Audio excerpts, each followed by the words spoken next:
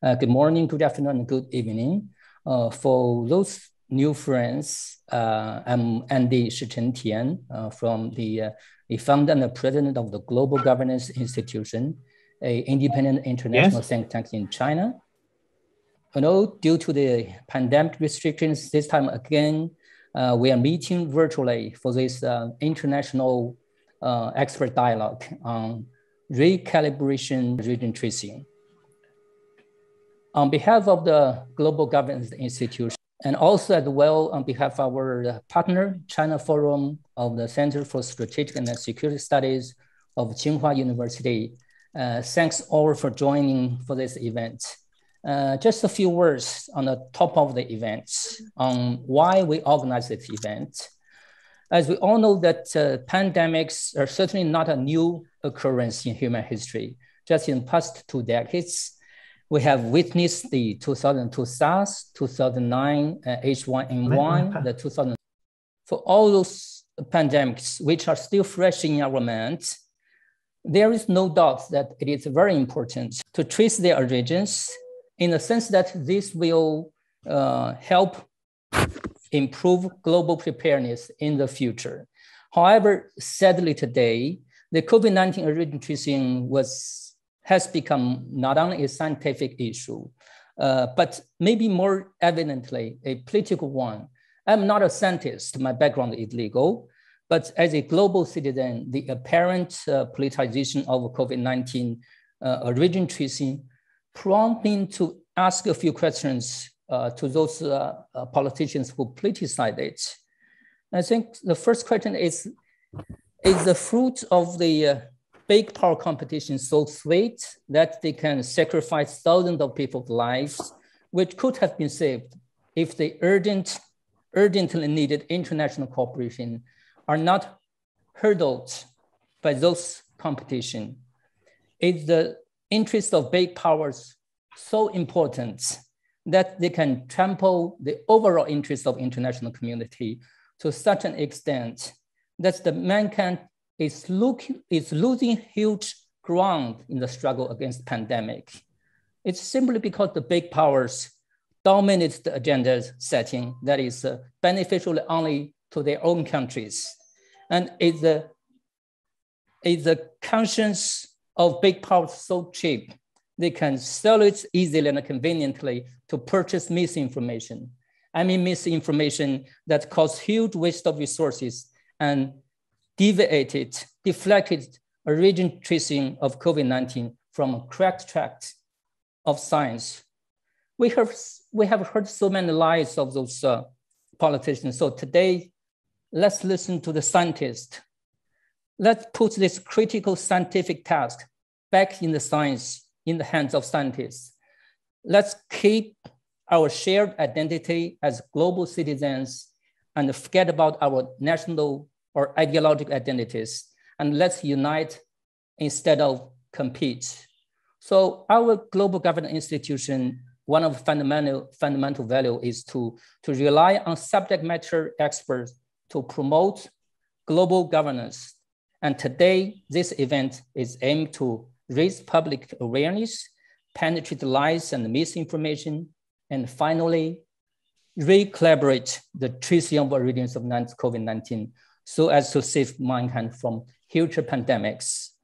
To achieve this mission, today we are joined by a group of great scientists and scholars to help us get back to the right track of fighting against pandemic. Without further delay, uh, let me give the floor to my co-host, Madame Liu Xin, who is a China Forum expert and, and as, well, as well a renowned uh, CGTN host and journalist. Uh, she will introduce the speakers and moderate the discussions. Uh, Liu Xin, the floor is yours. Thank you very much, Shicheng. Um, I have to clarify, um, I have no medical or science background, but I'm here as someone who is extremely interested in this subject from a journalistic point of view. Uh, as we all know, this subject has been in the news for so long. And uh, somehow, what you hear from the scientific community and what you hear from the media uh, have been very different. And that is why I'm extremely curious to find out exactly what scientists have to say when they don't have the limitation of you know having to give a few seconds of sound bites that is why we i'm very interested and very pleased to be able to moderate this panel on the uh, um, how to avoid politicization, how to let science prevail in this very important work of tracing the origins of COVID 19. I think it is um, um, almost um, useless, unnecessary I would say, to introduce the background of this whole thing. But as we are going live in China and abroad, I think it is necessary to remind people of the, of the uh, few key points or um, um, dates, let's say, as to how we have come this far and what are the important questions we have to try to answer going forward. So the whole idea of trying to look for the origins of uh, SARS-CoV-2, which is the virus that causes COVID-19, is to help people better understand exactly how the pandemic developed, how it emerged, and in order to help improve the global preparedness so that in the future, when we are faced with another possible pandemic of uh, uh, a virus that could be very infectious and very deadly, we have a better response, hopefully collectively. So such work has been carried out in the past with the um, the help and the dedication of scientists, but mostly mostly away from the public spotlight. You know, pe people spend years in the fields or in the lab away from public spotlight, and they are able to uh, make progress and even breakthrough in their work. And yet, the tracing of the origins of uh, COVID-19 has been particularly um, contentious and has actually become a political debate somehow. The whole idea of uh, the idea of a lab leak hypothesis was uh, first um, amplified, I would say, by former US President Donald Trump in April last year, and uh, also by his uh, former Secretary of State. Of course, they talked about having seen credible evidence, but nobody has ever seen, and they were not able to table any evidence so far, and over a year has passed.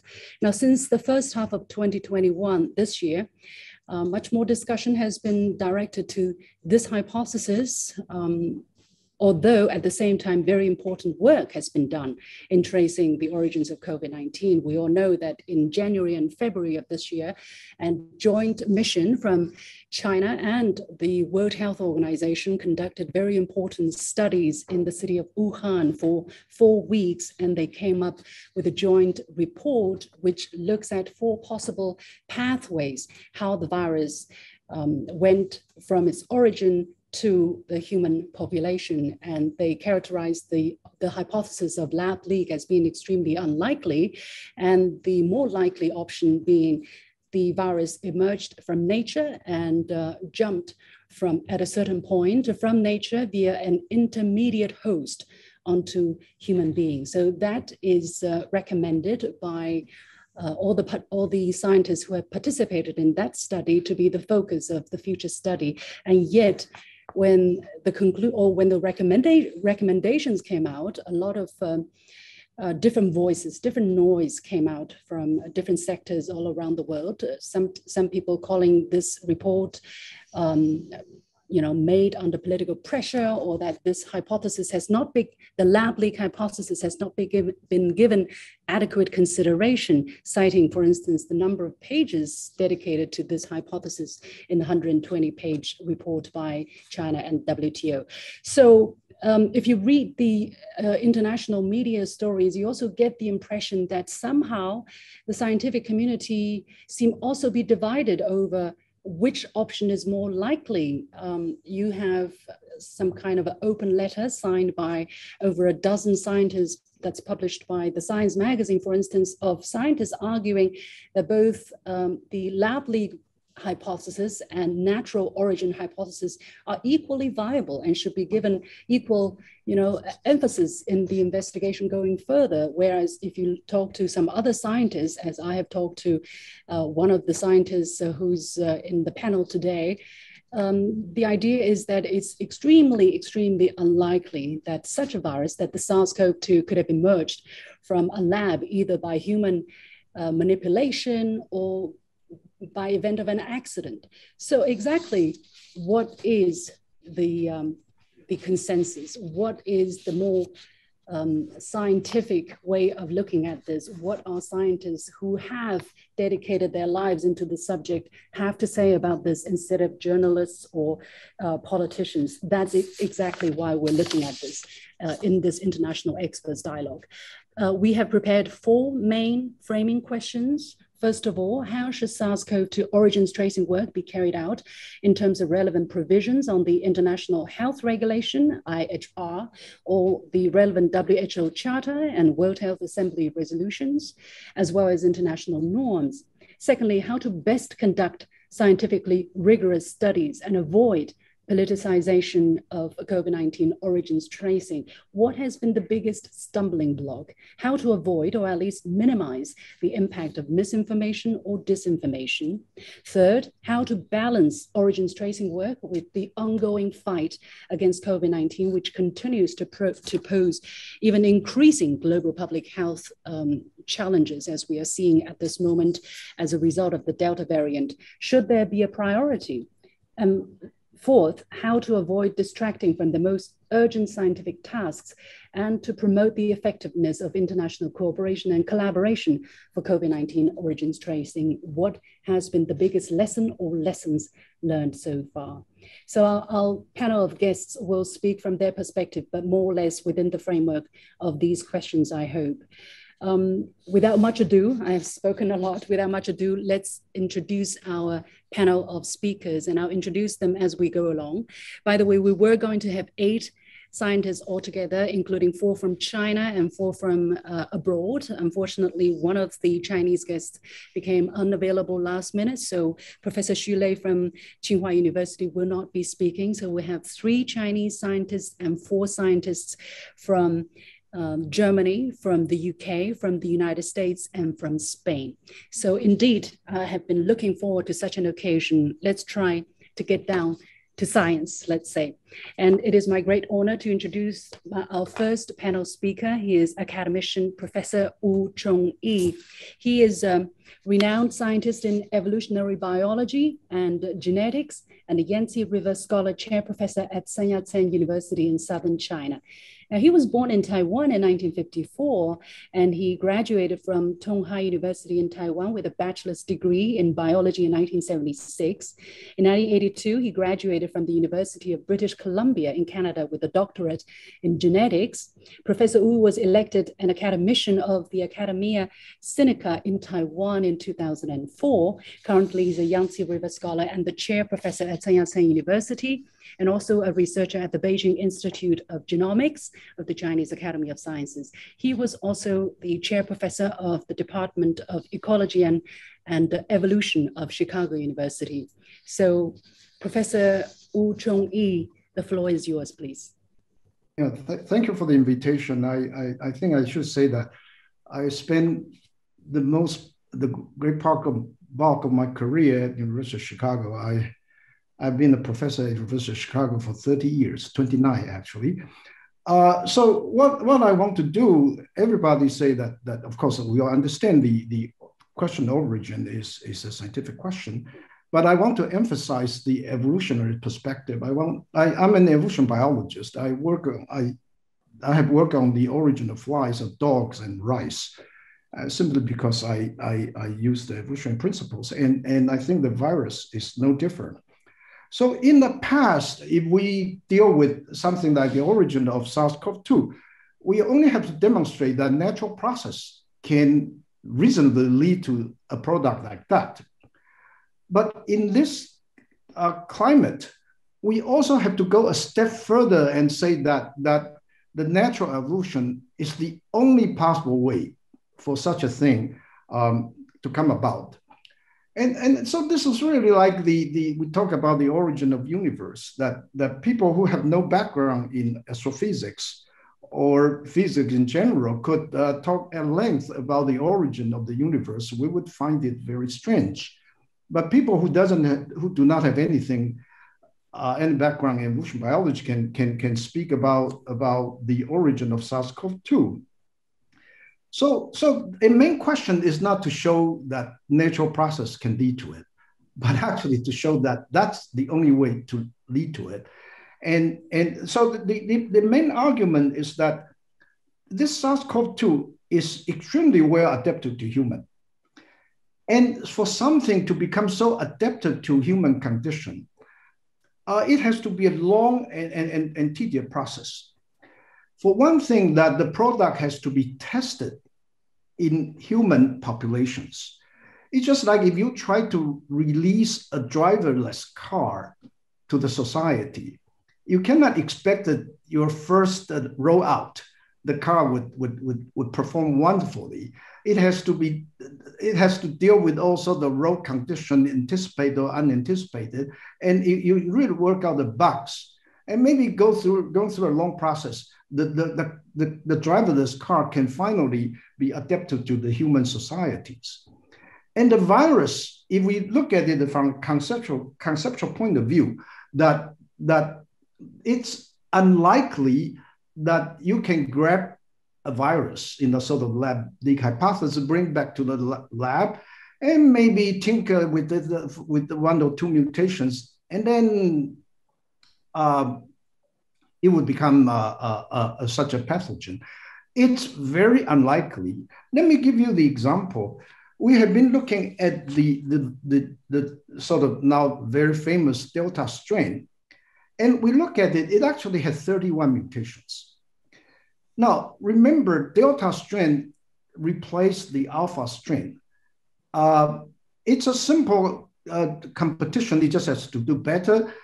But for a virus, the origin of SARS-CoV-2, to be uh, from adaptation to an animal host to human.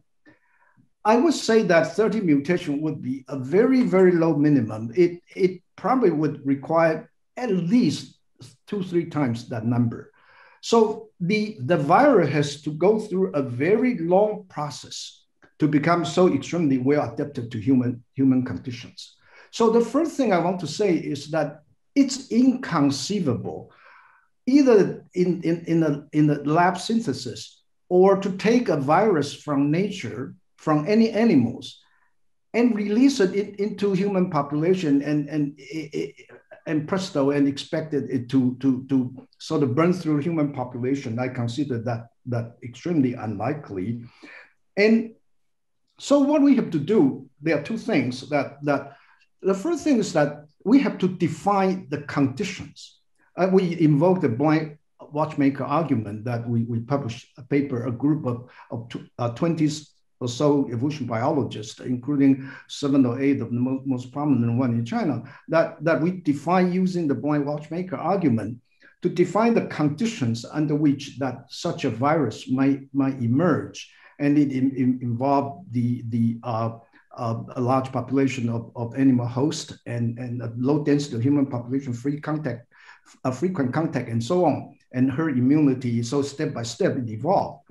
So, so I, I think this is important. I think in, in the last conversation with, with, with Madame Liu, I actually say that whoever want to pursue the question of the origin has to propose a model.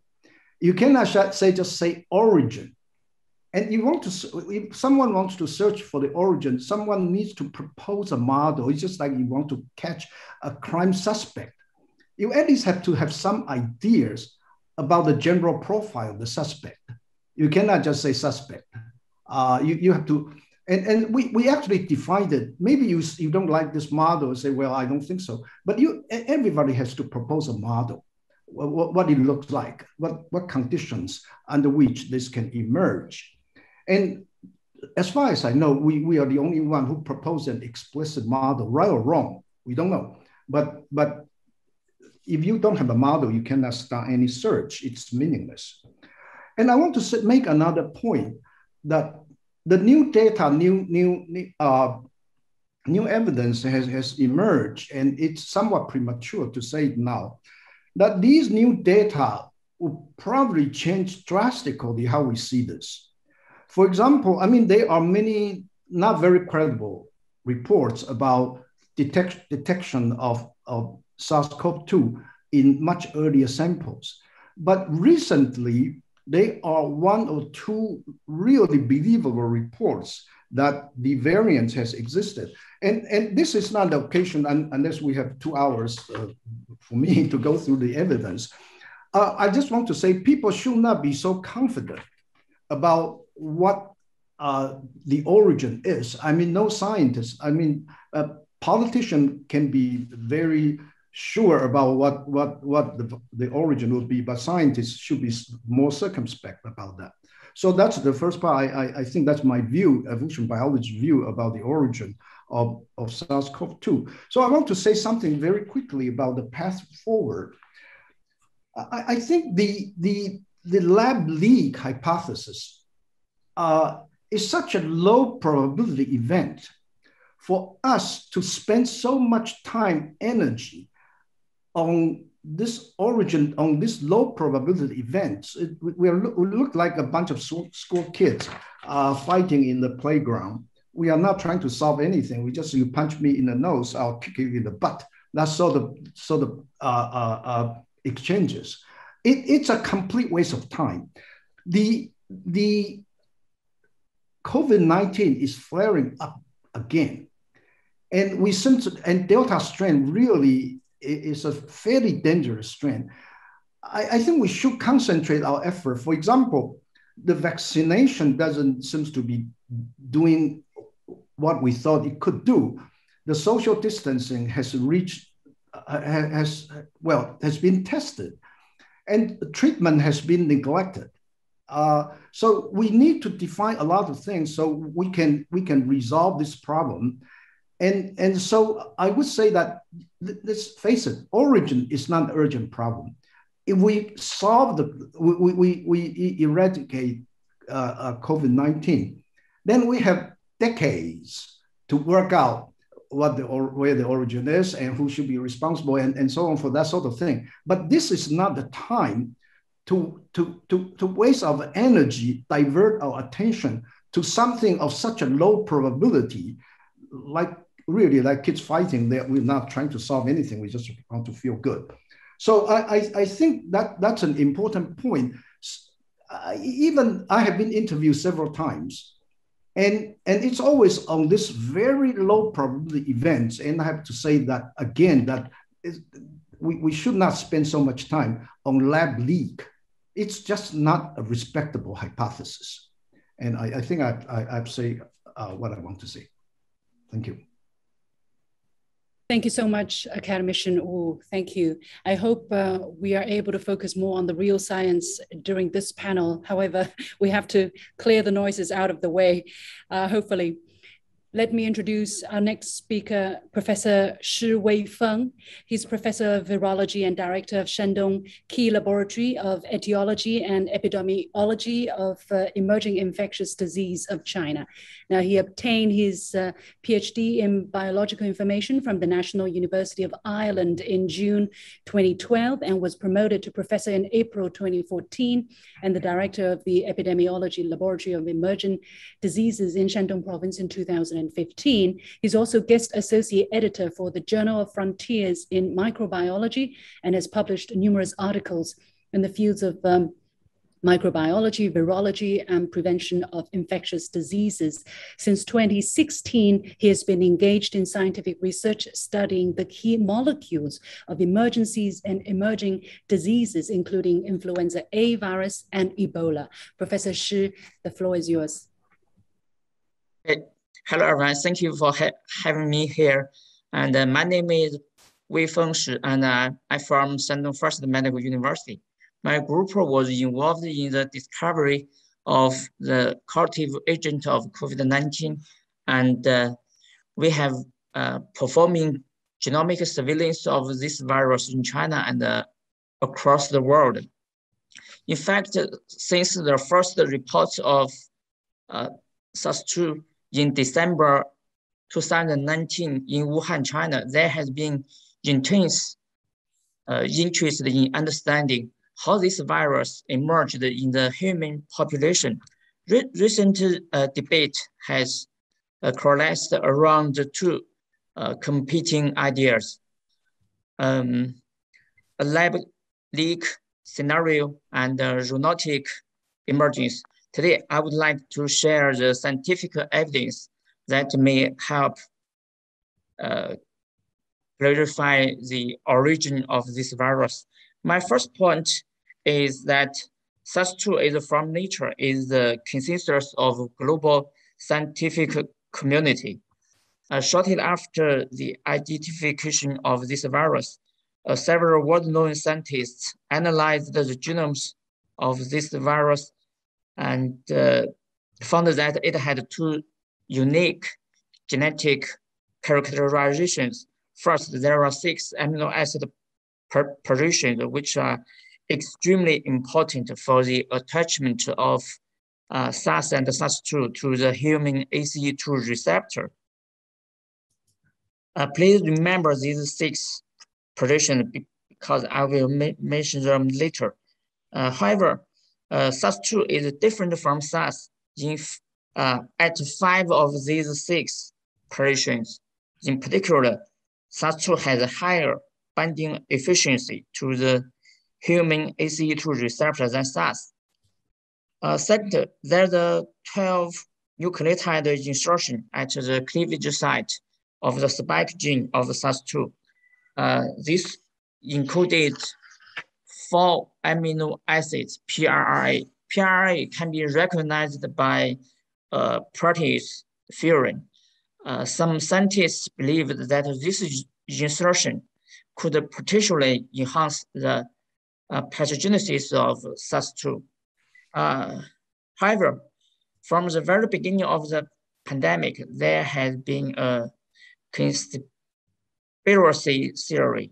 Uh, some politicians in Western countries believe in this hypothesis. They believe in they believe that the two unique genetic char characterizations of SARS-2 are genetically manipulated.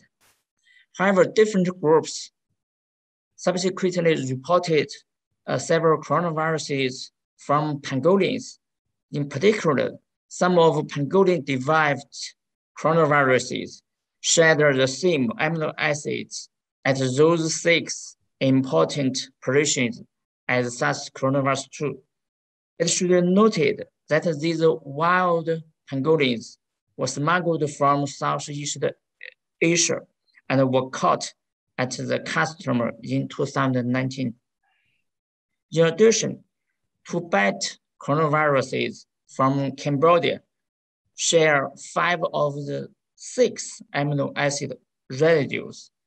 This evidence suggests that there are coronaviruses from wild pangolins and bats that are able to bind to human ACE2 receptor with very high efficiency. At the same time, uh, from a bat sample collected uh, from Yunnan in May 2019, we identified a novel coronavirus. This, uh, this virus had a similar uh, indel uh, event at the cleavage site of the spike gene. Uh, subsequently, a bat coronavirus from Thailand was also found to possess similar indel pattern. So although their insertion patterns are not exactly the same as SARS coronavirus 2, it suggests that such indel events can happen in nature. Uh, just, just the uh, short summary. So the so-called unique genetic characterizations of SARS coronavirus 2 have been found in coronaviruses from wild animals. Last month, uh, 21 top virologists working on virus evolution uh, published online a critical review. They contend that there's a substantial body of scientific evidence supporting a zoonotic origin of SARS coronavirus 2. Notably, these top virologists are from seven countries, such as Australia, the USA, and the UK. These authors belong to 22 different uh, affiliations. Therefore, SARS-2 is from nature is the consensus of global scientific community. This is my first point. The second point I would like to share is that there's no scientific evidence of lab leak. We also read through the reports supporting the lab leak hypothesis. However, most of them are preprints and are not peer reviewed. So they are not uh, reliable. Only very few of only very few of them are formally published. However, nine of them is a research article and nine of them uh, did provide scientific evidence to support their statement. Therefore, there's no evidence to support the lab leak hypothesis, while the possibility of a laboratory accident cannot be entirely dismissed. It may be near impossible to falsify. In July, a correspondence was published in the Lancet journal. The, the authors are a group of top vi virologists. They said that science, rather than speculation, is essential to de determine how this virus reached humans. The last point I would share is that it is estimated that uh, there there would be more than half a million undiscovered viruses in nature that are able to infect mammals and even humans. Because these viruses are everywhere on the earth, we believe that viruses are animals, uh, uh, sorry, uh, so we believe that viruses are enemies of all human beings and enemies of all countries. However, unfortunately, the number of viruses that scientists have, have known is just about 10,000, only with a few hundred viruses that, that can infect humans. So it just represents a very tiny proportion when compared to the estimated number of viruses. So therefore, we really need international scientific uh, collaboration and cooperation to prevent and control emerging infectious disease. That's all. Thank you for your attention. Thank you very much, Professor Shi. I understand, although I'm not a science major, but I understood that what you were saying, you were giving evidence that some of the features in the SARS-CoV-2 although alleged to have been the result of uh, lab mani manipulation, have actually been found in wild animals as well. And yes. some, of the, some of the wild animals were actually found in areas outside of China, in Southeast Asia, for instance. So uh, maybe more attention should be given in that direction. Thank you very much, Professor Shi. Next, let me go to Professor Peter Foster from uh, Cambridge, UK. Um, I hope you can hear us now. Would you make a sign that you can hear me? Okay, you are still muted, but uh, I hope you will be unmuted in just a moment. But I would like to welcome you and uh, give uh, our audiences a, a, brief introduction of our next uh, guest, who is fellow of the McDonald Institute for Archaeological Research of the University of Cambridge, UK. Now, Professor Peter Foster's research concerns the molecular population genetics of humans he was born in 1967. He studied chemistry at the universities of Kiel and Hamburg. He specialized in genetics at the Heinrich Peter Institute of Virology and Immunology in Hamburg, and he received his PhD in biology in 1997. After postdoctoral research at the Institute of Legal Medicine in Münster until 1999, he was appointed research fellow at the McDonald Institute for archaeological research in Cambridge until 2006. In the same period, he became a founding member of uh, the interdisciplinary Junger Academy in Berlin. From 2006 to 2009, he was a university senior lecturer in forensics and life sciences. He's currently director of research at the Institute for Forensic Genetics in Münster, Germany. He's also fellow of the McDonough Institute, as I said, and he's also an editor of the International Journal of Legal Medicine. So Professor Forster, the floor is yours, please. Thank you very much. Let me first clarify, my research was conducted at Cambridge University, but I'm speaking in a private capacity. Of course. Okay. Okay. So thank you for the invitation to speak at this video conference. It's a pleasure.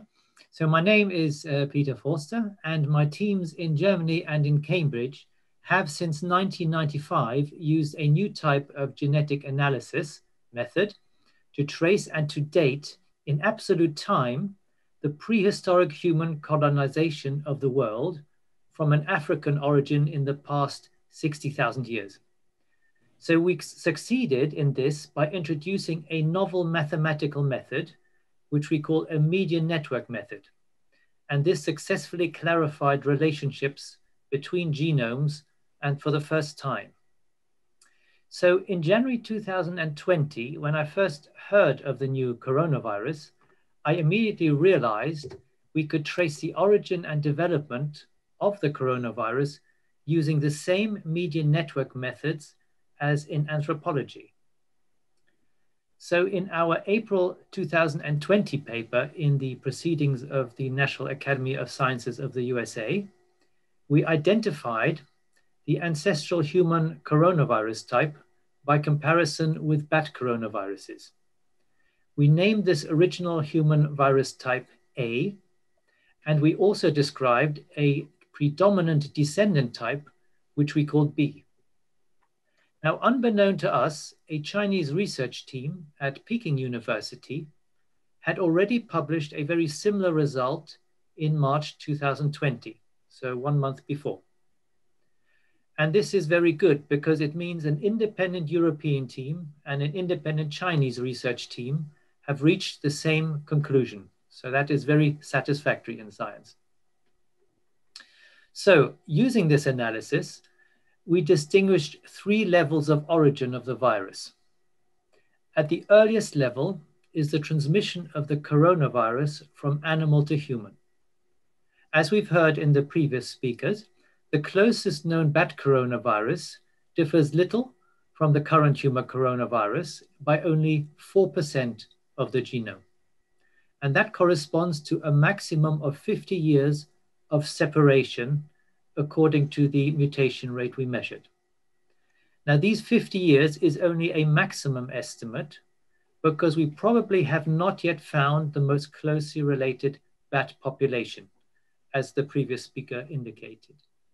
Furthermore, the bats and the first patients live in the same geographical region, so the animal human transmission must have happened quite recently, in my view, possibly as recently as 2019. And the exact transmission mechanism is under investigation by Chinese researchers for some years, in fact. So in 2015, the team of Shi Zhengli and colleagues surveyed villagers in Yunnan province who were living near bat caves caves full of bats. And uh, uh, this team found that 3% of these villages had antibodies against bat coronaviruses. And this evidently was occurring through natural transmission from animal to human. The second level concerns the geographical origin and spread of the symptomatic virus within China. So what I did uh, and also for this talk, I examined available genome sequences and I also examined clinical histories of, the, of early patients. Now I'll show you a first map, a slide with the share screen function. I hope to see um, a map which says SARS-CoV-2 occurrence of ancestral A and derived B types from uh, December 2019 until mid-January 2020. Can you see this? Yes. Good. All right. So in this map, um, this shows where the original ancestral A types and the derived B types were detected in patients until mid-January 2020. So the patient numbers are very low at this early stage. The black pie slices are the early A, the original A type, and the white uh, portions are the derived younger B types. So although we have very few samples at this very early stage until mid-January 2020, so only 34 B types and seven A types, it is clear that the A types are very rare in Wuhan and in Hubei province. Only one in 29 patients have the original A type. In contrast, there are more A types detected in southern China. So this makes Wuhan a less likely source. Now in the next map,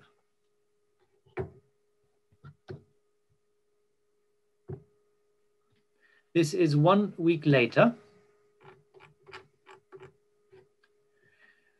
The sample sizes are still very small.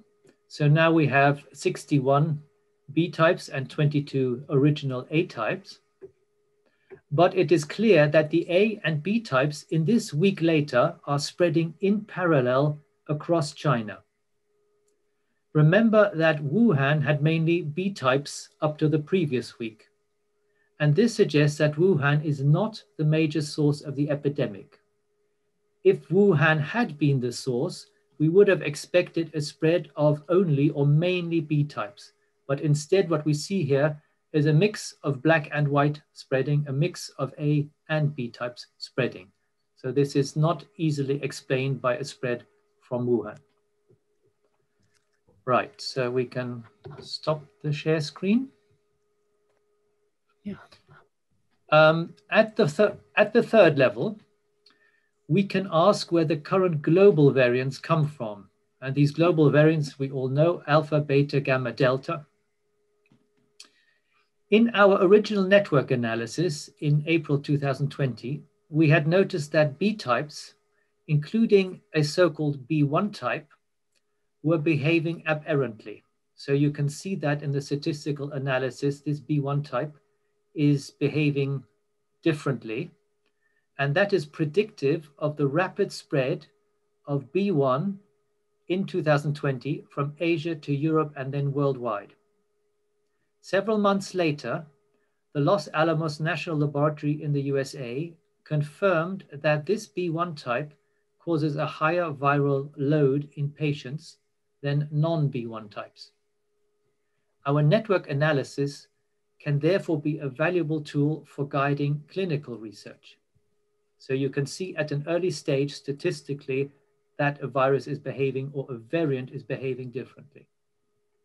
So to summarize, our work provides preliminary evidence that first, the animal-human transmission occurred relatively recently and possibly as recently as 2019. Secondly, the pattern of spread of the ancestral A and descendant B types argues against a Wuhan or Hubei origin, whereas more ancestral types were detected in southern China. Thirdly, a single aberrant Asian B1 ancestor gave rise to the current global variants alpha, beta, gamma, and delta. So I thank you for your attention. And if you are interested in a fuller account of our research, see the website of the Cambridge Philosophical Society, where I have a longer lecture on the subject. Thank you very much, Professor Foster. Uh, I think you have tried your best and very effectively to illustrate some very sophisticated scientific work. Um, without a scientific background, I seem to have been able to understand you, understood you, and your summary has been uh, clear enough. Um, very interesting study, very interesting study, and I'll open the floor later for discuss for discussion on these. I'm sure. Uh, Next, let me introduce our next speaker, Professor Jonathan Stoyer. He's the group leader of the Retrovirus Host Interactions Laboratory of the Francis Crick Institute. Uh, I've heard you are a real cool head, so I'm really looking forward to your presentation. So But a brief uh, bio here. Jonathan was born in Oxford, but studied a BA degree in natural sciences at the University of Cambridge. He then worked as a technician for five years in Basel, Switzerland, before embarking on research supervised by Christopher, Christophe Moroni, leading to a PhD from the University of Basel. Next, he joined John Coffin's lab in Boston, USA, spending seven years as a research associate before returning to the UK with an appointment at the MRC's National Institute for Medical Research. Since 2015, he has been a senior group leader at the Francis Crick Institute. He was elected a fellow of the Royal Society in 2017. So, Professor Stoy, you have the mic. Thank you. Good afternoon from London. Uh, my name is Jonathan Stoy. I'm a virologist in Francis at the Francis Crick Institute. And like Peter before me, I'm speaking on my personal behalf and not on the behalf of the Institute. Why am I here today?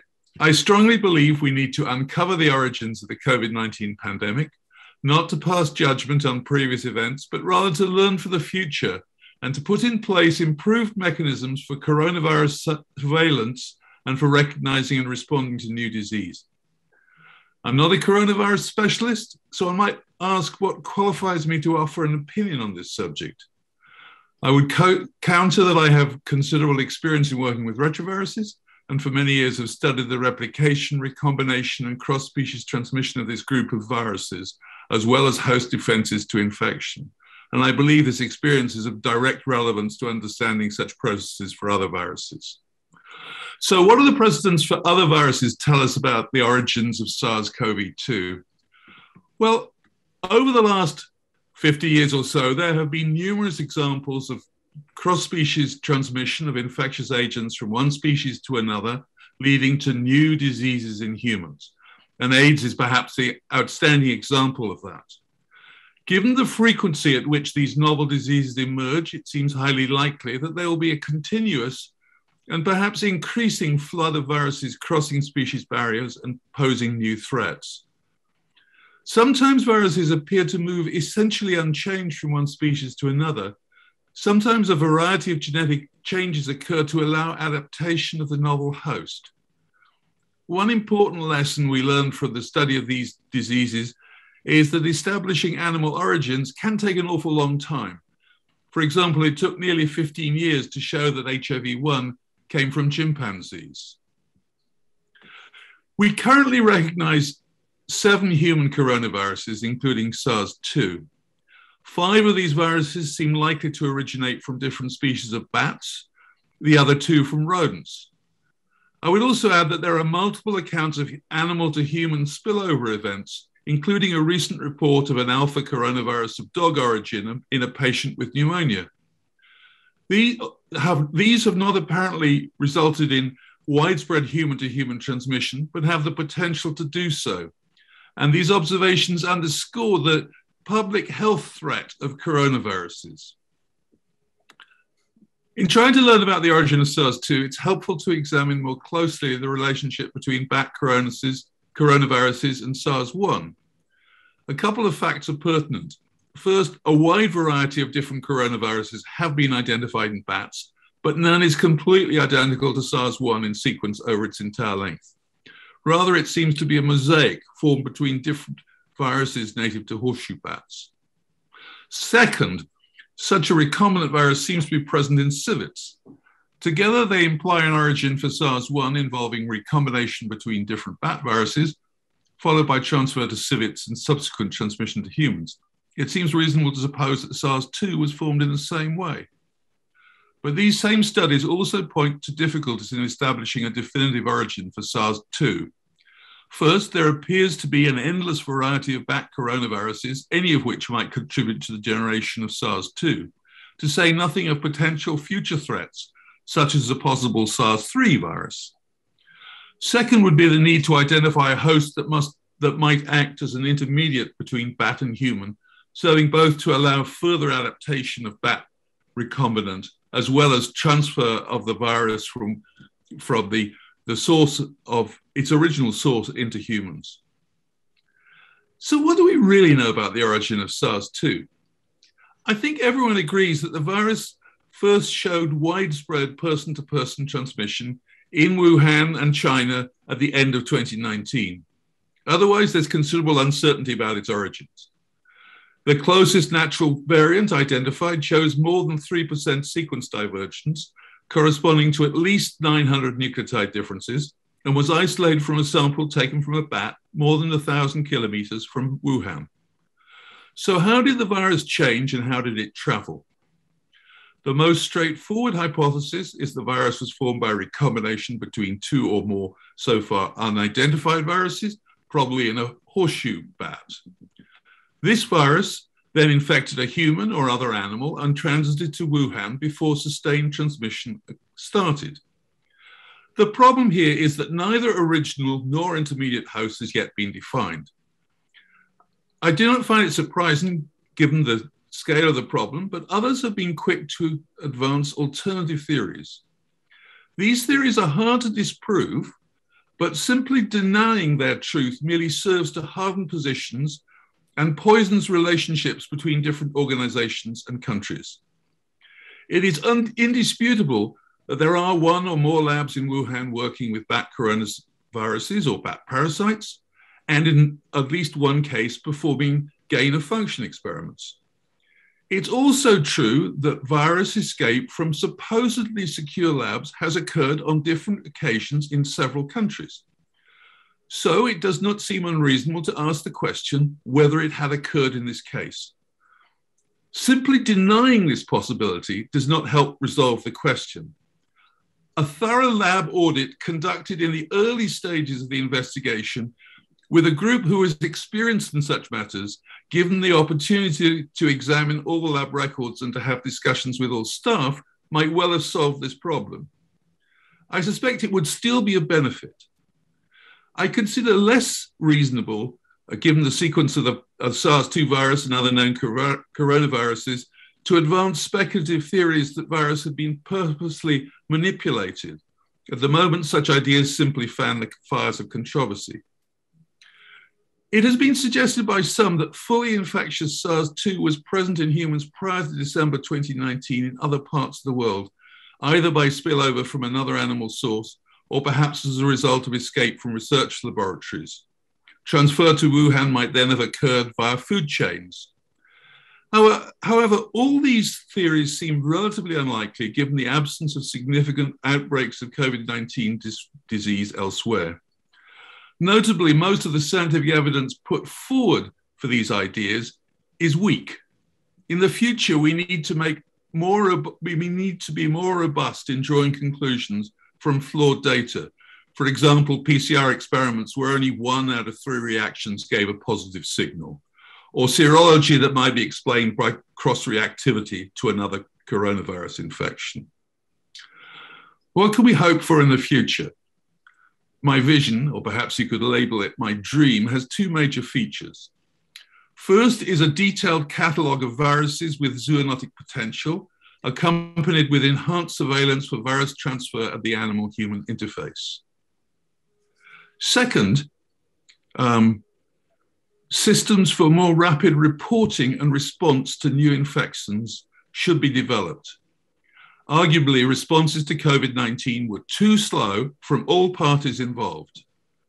We've learned much from the, from the current pandemic with regard to containment measures, more rapid dissemination of early warnings would facilitate responses, for example, through development of rapid PCR diagnostic tests to future emergencies. But where do we stand now? The report of phase one of the WHO convened study has been published. A number of reasonable suggestions for further studies have been put forward, including searches for more SARS related viruses or surveys of additional possible possible intermediate hosts. However, little real progress has been made in limiting the scope of the inquiry, and it seems that trust between the various parties has all but evaporated. There seem to be serious differences of opinion between WHO and the Chinese government about areas of investigation deserving attention.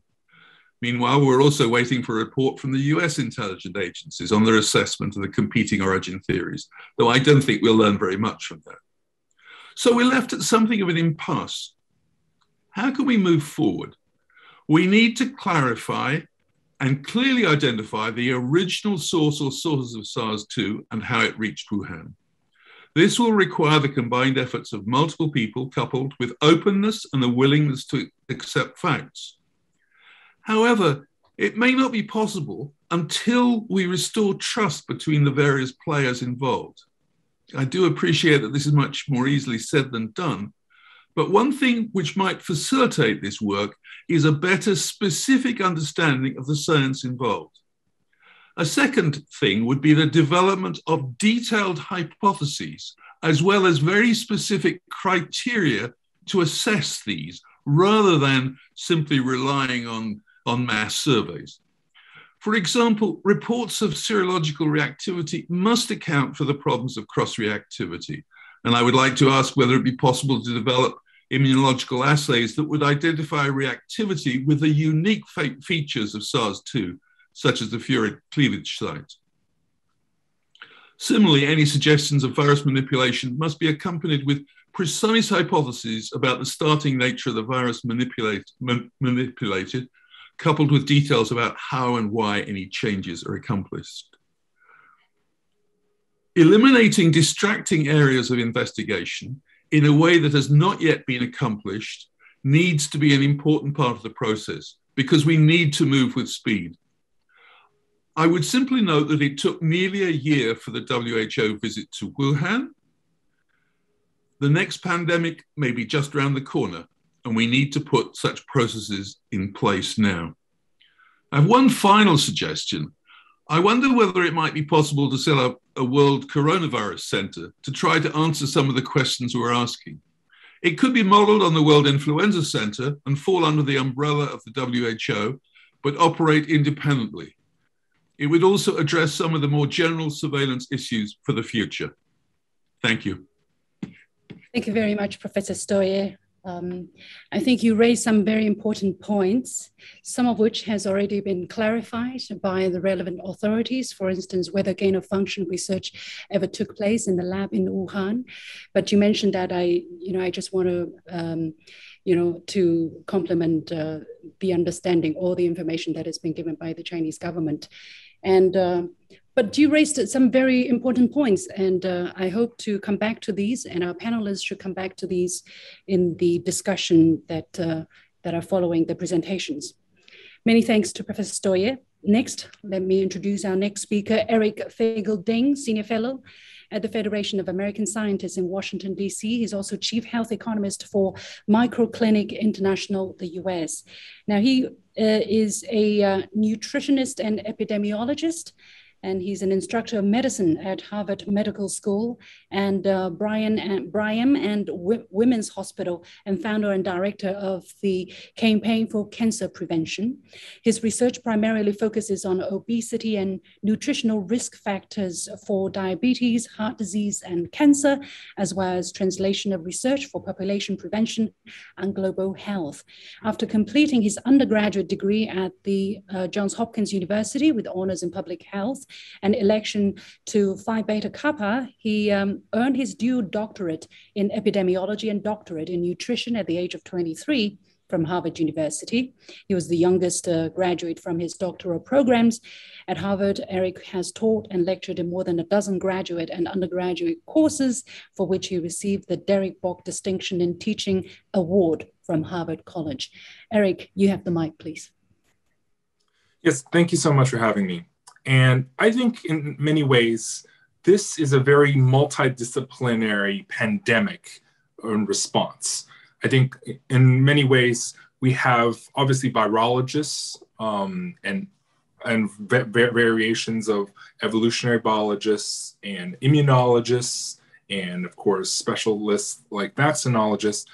Um, but I think in certain ways, you know, I, am an I'm not an infectious disease epidemiologist per se, but my doctorate in epidemiology has taught me one thing that, you know, the there is a lot of ways you can look at data. You know, I've been teaching systematic reviews um, for many years, and whether it's I've been whistleblower of many previous things, whether it comes to pharmaceutical uh, industry mm, hiding uh, clear malfeasance on their part in adverse events. So I've seen um, many of these situations, whether, and also lead poisoning, when clearly the data shows a very targeted trend to hide the data, right? Whether it's the lead poisoning in children um, in Flint, whether it's the you know the uh, the drug Vioxx, in which they hide clearly the heart attacks that were later revealed that they willfully hid them, um, and other renal effects. So these kind of things I've seen before. Whenever someone try to hide the data, I think in this uh, SARS-CoV-2 coronavirus situation, there I don't think there's any willful direction in which they're trying to hide a clearly a guilty thing that someone did. I don't there the data does not show that. The data is all over the place. There is wide range of even um, as you know the the the fecal testing in the wastewater and wastewater clearly showed that the virus was outside of China and in Europe as early as October. Some say September, but October, November, in which they found positive cases who went to the hospital in late October and, and tested positive in early November. And this is in Italy. And they also found wastewater um, in fall of 2019 in France for SARS-CoV-2.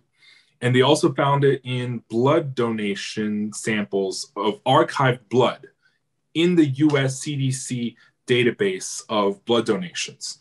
And this paper was also published by the, uh, the, the, the, specific uh, task force in the CDC that monitors these kind of blood donation samples for infectious diseases. So in many ways, the data is really, really diffuse there is no specific explanation for any of these fall 2018 infections. And as a previous colleague um, pointed out, it, it, the data for an, an, A and B variants of SARS-CoV-2 clearly show was already very diffuse across China um, back then when it was collected in January and late December. So I think this is where you have to use um, a little bit more of logic if the data is not consistent, you can cherry pick data that shows one specific directional finding. But if you don't find that systematic, and I come from this um, background of systematic reviews in epidemiology, of looking at clinical trials in which um, you have, for example, many uh, clinical trials that only just have one heart attacks, one kidney failures, and but they all when you flip the coin they all flip and fall on one side of the data clearly showing that the drug was dangerous. You don't have this uh, systematic tendency towards one side. The data is all over the place. And i think the selective reporting of a lot of the data is what creates this narrative. This narrative formation is very easy in epidemiology because you know, there's also the saying correlation is not always causation, but every causation is a correlation. And to know the difference is epidemiology, uh, the study of causal data and causal data patterns in human populations. And that is where I'm really coming down hard because I also, um, you know, as a whistleblower back in January, that this is going to be a uh, the thermonuclear level bad pandemic. I, I had no agenda, but many early on accused me because of my Chinese born background that you know I am a mic piece for a certain uh, you know political agenda, which I do not have any political allegiances in that sense. I think what ha- what happens is that people want to believe and people want to blame, and you see that also with Afghanistan right now.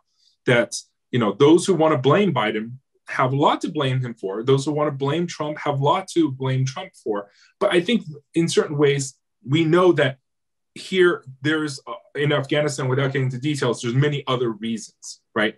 And I think the, the, the way that we try to describe it in science, and people don't understand science, and, and that's the truth. Like, for example, the A-B variance distribution or some of these other data if you don't have a big scope and you only target your news message or any other propaganda message for one specific angle, like some members of Congress in the US try to do, you get a very, very convincing narrow narrative. And I think as an epidemiologist and policy person who's seen how data can be distorted, and seen how industry fight back whenever they've been accused of this. And but clearly, there is no Purdue Pharma conspiracy to push opioids uh, uh, level kind of conspiracy like there is for this. Purdue Pharma definitely pushed opioids. Merck uh, and clearly try to hide the data on the dangers of their uh, Vioxx drug, but there is no systematic data here. And I think that's as a as an epidemiologist who kind of looks at the totality of data, there is no directionality, and that lack of directionality, in my sense, is the best evidence that there is no, you know, specific lab origin. Obviously, there's obviously more data to be and work to be done, but I think in the totality, the confusing array of data and inconsistency and unexplained nature data is the best evidence, right, that probably natural origin is the most likely. Thank you very much, uh, Eric. You have been a frequent guest on my show, and it's always very interesting to hear what you have to say. And you made scientific matter very simple and very easy to follow. I think you have made it very clear.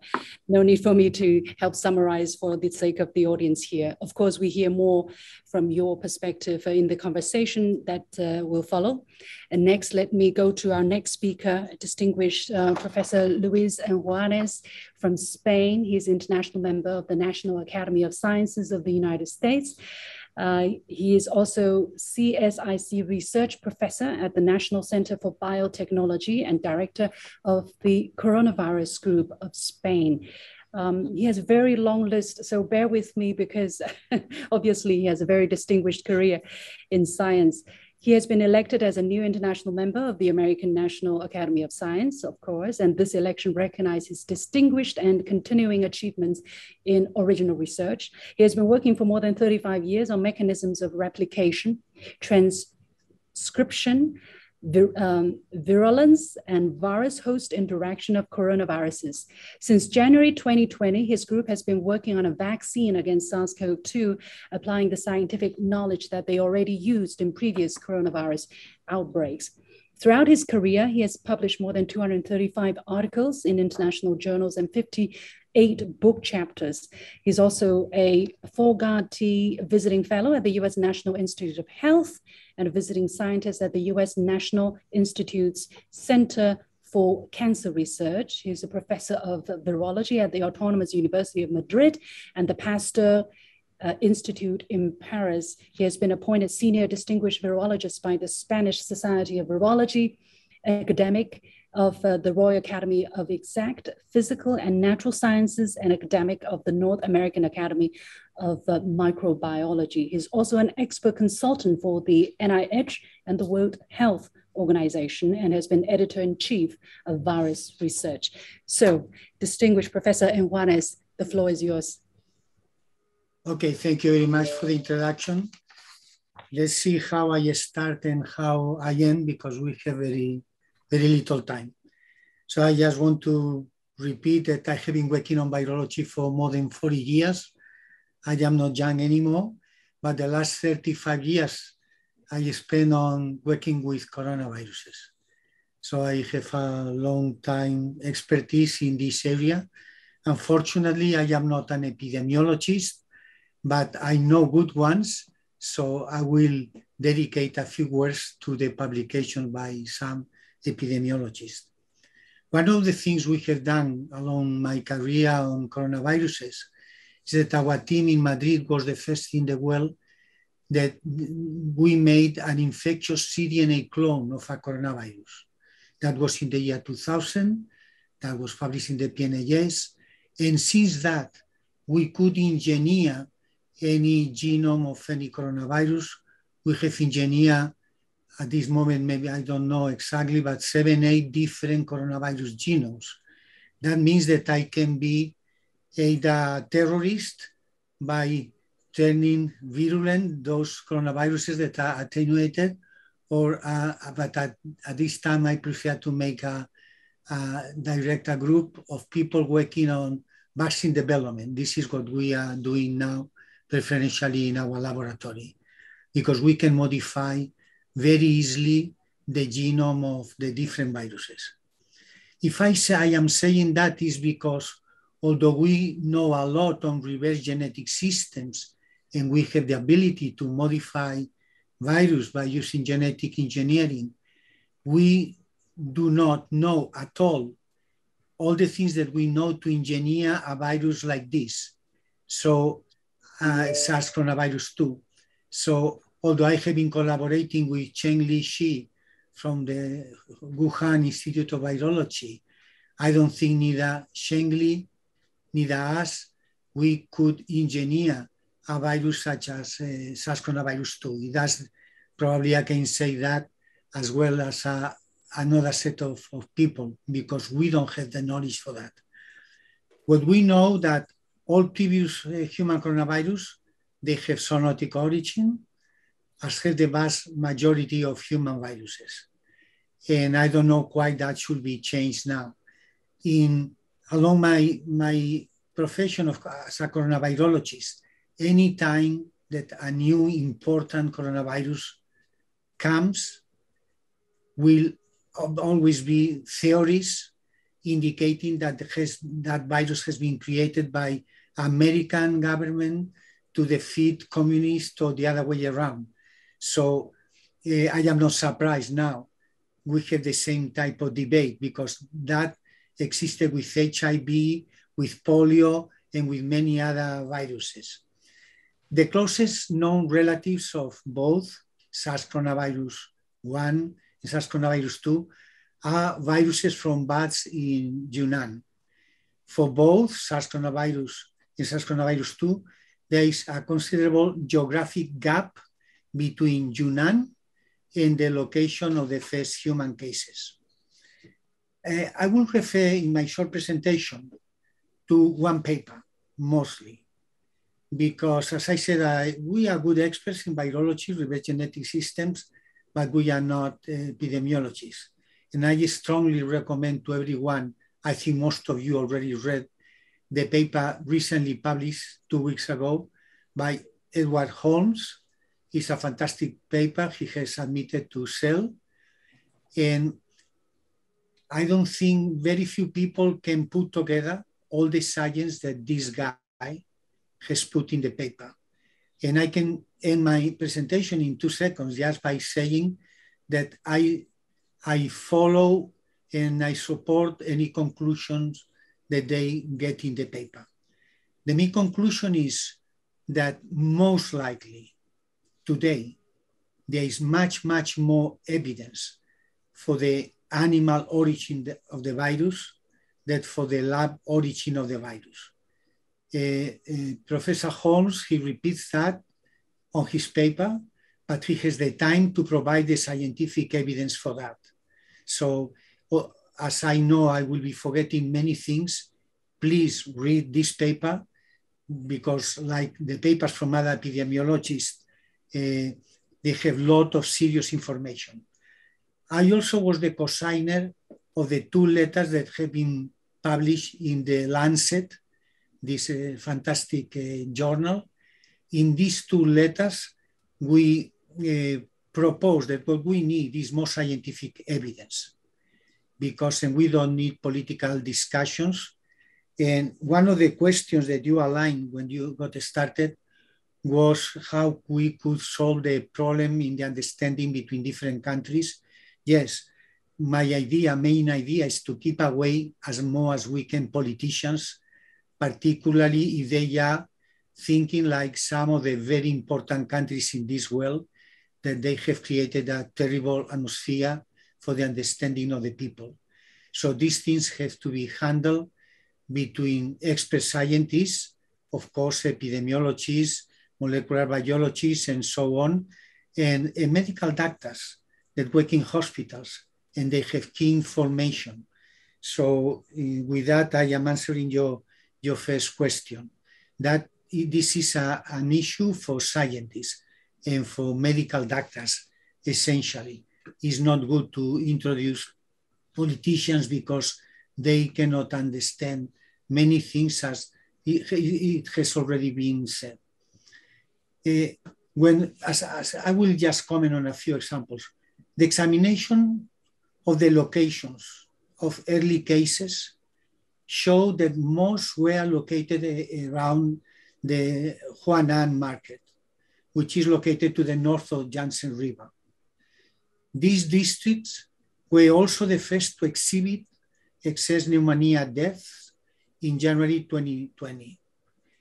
There is, but there is no epidemiological link to any of the other locally, locality in Wuhan, including the BSL-4 campus of the Wuhan Institute of Virology, which is located to the south of the Yangtze River. So when in the original days, you could see how the epidemic was expanding, the south of Wuhan, Wuhan, as you know, is a city with more than 14 million people, and is in Wuhan is far away from the, the area. The, the, the, no, the, the Institute of Virology of Wuhan is far away from the area, the central area in the city of Wuhan, because the virus appears at the north, whereas the Institute of Virology is in the south of the Yangtze River.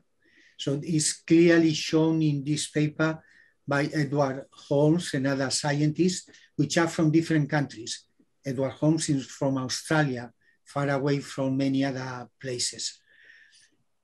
Viruses closely related to SARS coronavirus have been documented in bats and pangolins in multiple localities in Southeast Asia, including China, Thailand, Cambodia, and Japan. So it is not surprising that a new virus has appeared, a new coronavirus has appeared. As I said before, I am a coronavirologist for the last 35 years, and I have seen the emergency of many coronaviruses, many animal and human coronaviruses. Human coronaviruses are known at least nine. They have isolated seven, but are known nine. The first four, they are already attenuated. And the last three, the, the one that appeared in, in China in year 2002, SARS-1, the one that appeared in Southeast, in, in the Middle East, uh, MERS coronavirus in 2012, and the, the last one that appeared in China in, in, in, in 2019. So I am used to seeing many new coronaviruses emerging constantly. In the last 10 years, in the animal world, we have more than 10 novel coronaviruses. So this is an easy thing that is constantly happening. The emergency of an animal coronavirus takes only three more years. In, as I said, in the last 10 years, we knew about 10 new animal coronaviruses. And uh, although some people, they want to claim that in the lab, the Cheng Li Shi could be the origin for, for this virus, I don't think this is true. Because in, in her laboratory, the only virus that has a 96% ident sequence identity, uh, although you may think that this is a big identity with the present virus, genetically speaking, this is the same distance that is between the genome of the pigs and the genomes of the human. People like Mr. Trump, that was not an expert in, in genetics, he thought that that was fantastic, that will accuse the lab of Cheng Li Chi, as, uh, Cheng Li Shi as the origin, but he, he's not a geneticist. He didn't realize that the, this distance, 4 5% in genome, genome identity, is the same that we have from men to pigs. So they, this is not an argument, and so and so, that is constantly repeated. So if, if since I will have no time to go into detail, please, when you have a few free minutes, if you have not done so, take a look to the manuscript by Dr. Holmes. He clearly states that despite extensive contact tracing on deadly cases during COVID-19 pandemic, there have been no reported cases related to any laboratory staff at the Wuhan Institute of Virology and all staff in the laboratory of Dr. Shi, Shengli, were reported to be seronegative for the virus when they were tested in March 2020. Another statement on the paper is there is no rational experimental reason why a new genetic system will be developed using a, an unknown and unpublished virus with no evidence nor mention of a SARS coronavirus-like virus in any prior publication study from the Wuhan Institute of, of Virology. There have been very interesting things in the virus. The virus got a, a new sequence uh, made of four amino acids that was integrated in the spike protein. That was terrible because the, this small peptide provided to the virus a cleavage site by one enzyme that is present in any tissue in our body. So that has allowed this virus to infect more than 50 different tissues in our bodies. And people were surprised where was coming this cleavage site. I, I have no time to go into detail, but just let me know the, the furin cleavage site, not exactly the same, but similar one, is in very well-known of coronaviruses, starting from the mouse hepatitis virus and followed by other human coronaviruses, Hong Kong University virus and OC43 virus. So the origin of this terrible little peptide that expand the tropism of the virus to any organ of our body, causing more than 50 different pathologies. The peptide that was helping to that was already present and very well known yeah. viruses so with so little relevance like the mouse hepatitis virus not all of them but many of them they carry this little place what I, the little peptide. What i am trying to say at the end is that through recombination through evolution the any virus from bats that was closely related to the actual SARS coronavirus 2 could have recombined with these other human coronaviruses Mm, eh, I, I know that at least four human coronaviruses infect, let's say, 95% of the human population. We all have these viruses that are causing to us the winter common cold. So if some one person is infected with an original virus in the Wuhan area and recombined with a human coronavirus that was fully attenuated, causing just the winter common cold, that will be the simple explanation for the appearance of this virus, like it has been happening in the previous years for the emergency of all the other coronaviruses. So in conclusion, mm. I will read two sentences. As for the vast majority of human viruses, the most direct explanation for the origin of SARS-CoV-2 is a zoonotic event, in my opinion, and also from that of other excellent scientists. In this uh, Edward Holmes paper is co-signed by, by Susan Wise. He's a well-known coronavirologist for many years. I, I know her. For, for Peter Durfee, it's a Nobel Prize up to 22 scientists. So I think it has a good base. And in, there is currently no evidence that SARS-CoV-2 has a laboratory origin. There is no evidence that any earlier, early cases had any connection to the Wuhan Institute of Virology, in contrast to the clear epidemiology, there are clear epidemiological links to animal markets in Wuhan, but there is no evidence that the Wuhan Institute of Virology possessed or worked on a progenitor of SARS-CoV-2 prior to the epidemic. I believe that there is substantial scientific evidence supporting a zoonotic origin for SARS-CoV-2. This is not one, is a statement that is 99% true, in my opinion. I cannot say 100%, but while the possibility of a laboratory accident cannot be entirely diminished, dissemination system is highly unlikely relative to the repeated human-animal contacts that occur routinely in the wildlife. And I think I better stop here and maybe later on we can talk more. Thank you. Thank you very much, Professor Juanes. Very clearly, so you believe that it's most likely the SARS-CoV-2 or, uh, yeah, SARS-CoV-2 has a zoonotic origin and highly unlikely that, and no evidence so far that it came from a lab leak. Um, uh, finally, last but not least, Professor Wu Zhiwei from Nanjing University Public Health Research Center of China. He graduated from Nanjing University and received his uh, PhD from the University of Edinburgh in Scotland. He was trained as a postdoc fellow in viral immu immuno immunology in New York University and worked as a faculty at Population Council in Rockefeller University and then in the University of Pennsylvania until 2006.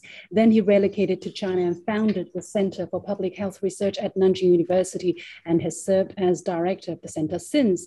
He's also associate director of the State Key Laboratory of Analytical Chemistry for Life Sciences an adjunct associate professor at New York University and associate in Southampton Statistical Sciences Research Institute, University of Southampton in the UK. His main research interest is uh, uh, RNA viral infection, host immune response and viral escape mechanisms, B cell immunology, and therapeutic antibody and vaccines, particularly single domain antibody technology. He has also served as director for MEGA project for key infectious diseases under the Ministry of Health of China since 2008 and he uh, also serves in the steering committee of multi-purpose prevention technologies initiated by CAMI, USAID, NIH, and as a member in the guideline development group for SRHR at WHO. Uh, Professor Wu Zhiwei, the floor is yours, please. Thank you for having me here. Um, yeah, the, the, previous few uh, speakers give excellent presentations. Uh, uh really, you know, um, impressed by some of the studies, particularly Professor Foster's study basically showing how the uh, virus uh, mutated and the, the various different subtypes appeared in uh, during the uh, last year's pandemic. Uh, it's a very interesting. That actually gave me the impression, you know, it's um, it, it's quite clear that you know the the, the origin of the virus could be rather complex, and uh, we need to look at it in more uh, in a broader scope and to see how this actually happened and move forward. The, the, if you look at the um, the bat cave in Yunnan province, uh, uh, Professor Foster mentions that there are a few people, uh, basically they carried antibodies. I think it's a very interesting um, very interesting uh, uh, information. The, the, thing is that you know we do have a lot of uh, the RNA uh, sequence data. Uh, uh, if you think about how the virus travel from human to human, I think we also need to look at the, the antibody and immune response as well. We know that for a lot of viruses, they induce a very distinct serological response. So serotyping and genotyping actually are the two very uh, powerful tools uh, trying to look at the relationship of the virus transmission and how the, the, actually the immune system put the pressure to drive the virus to mutate. So those are the things actually I think in the long run it's something we need to look more carefully, more thoroughly in a scientific manner instead of you know just based on few uh, examples of jump jump into a, a, a, conclusion. So this is something actually I think as a scientist that we need to do and we need to conduct uh, more uh, uh thorough studies. The thing, uh, what, what, what, I want to you know point out is that I think uh, the finding the virus origin is apparently very important but this probably is not the most urgent issue right now. Um, as uh, humanity experienced uh, many different uh, pandemics, uh, epidemics, and we, we, we have been looking for origins of various different pathogens. It's, uh, it's very clear that uh, very few pathogens we know where they came from, how they were transmitted to humans. So this is a very time-consuming uh, process. We need to put on a lot of effort trying to find it out. Um, as uh, uh, Professor Foster mentioned, I, I think one uh, issue which is very interesting to me is that you know when the conspiracy theorists um, saying that this actually leads from the Wuhan lab or the Wuhan personnel became infected by the bad by bad coronavirus, and that's called uh, it, it, the pandemic started from there. But, but I think it's uh, it's totally unlikely if you if you look at the the contagious property of this virus. If indeed were Wuhan uh, personnel uh, were infected first, I would expect that you know, people in Wuhan Institute would become, became a, a, a first cluster of infected individuals instead of in the seafood market, isn't it? That's what uh, we, we learned from two years circulation of this virus. That uh, in the time when the uh, pandemic started, we had no knowledge. People unlikely took any precaution or, or social distancing or, or, quarantine measures to prevent. Then you, you would definitely expect, you know, you, not only dozens, even hundreds of people around Wuhan or the Wuhan Institute would, would become in, uh, infected. I, I, don't know whether you've been ever been in Wuhan Institute. It's a, a very crowded, packed institute. A lot of people working in a relatively small environment. So um, this actually from uh, uh, Professor Foster data, I mean, I'm pretty convinced, you know, this is not something happening in Wuhan or started in Wuhan. It likely started from somewhere else. I, I think that, you know, the sequence data and the subtype dissemination data providing a very powerful argument. Uh, you know, this is something we need to look in a broader scope uh, for the various different uh, possible origins. The other thing is, uh, uh, Professor Ding and other uh, speakers also mentioned that, that this virus has been detected in various different locations, in different countries and different populations, and different uh, sources like sewage and water draining systems. I think this gives us the very clear information that this the origin uh, could be much more complicated uh, than we thought. Uh, it, it's not uncommon that the virus could, could have started from multiple origins, particularly when you think about the coronavirus as such a broad a mammalian host. So it's uh, it's I wouldn't be surprised if in the future that people found okay this virus actually is hosted in various different uh, mammalian animals and jump from multiple sites. So uh, if you read the recent report. Uh, in the northeast U.S., that the white-tailed deers actually are tested uh, uh, Uh, uh, serologically positive for coronavirus. So this is something actually I think is very interesting, although further studies should be done. But this is uh, uh this would give us um, an idea that the coronavirus distribution is, spatially is it, it, should be much broader than we thought. So um, I, I, think that this is something actually we all should bear in mind. But one of the issues actually I'm as a scientist really concerned is that this uh, uh, origin funding uh, mission has been uh, really poisoned by the uh, political uh, involvement. you know, in the past, we know that the funding the origin pretty much the scientist's job. And it's not driven by a single entity or the government or any you know, organizations, not even NGOs when, a, when the epidemic happens, then people automatically would be trying to find out where the virus came from, how this started. And you would see that multiple scientists from various different countries would trying to do research. This is, I think, the, the right form of doing the, uh, the research, finding the origin. And, uh, you know, I mean, only one, uh, only the studies or the conclusions coming from this source, a peer reviewed, uh, they, they have a convincing power to make people that uh, take actions to prevent the further happening of the pandemic. I think the current uh, environment is very toxic.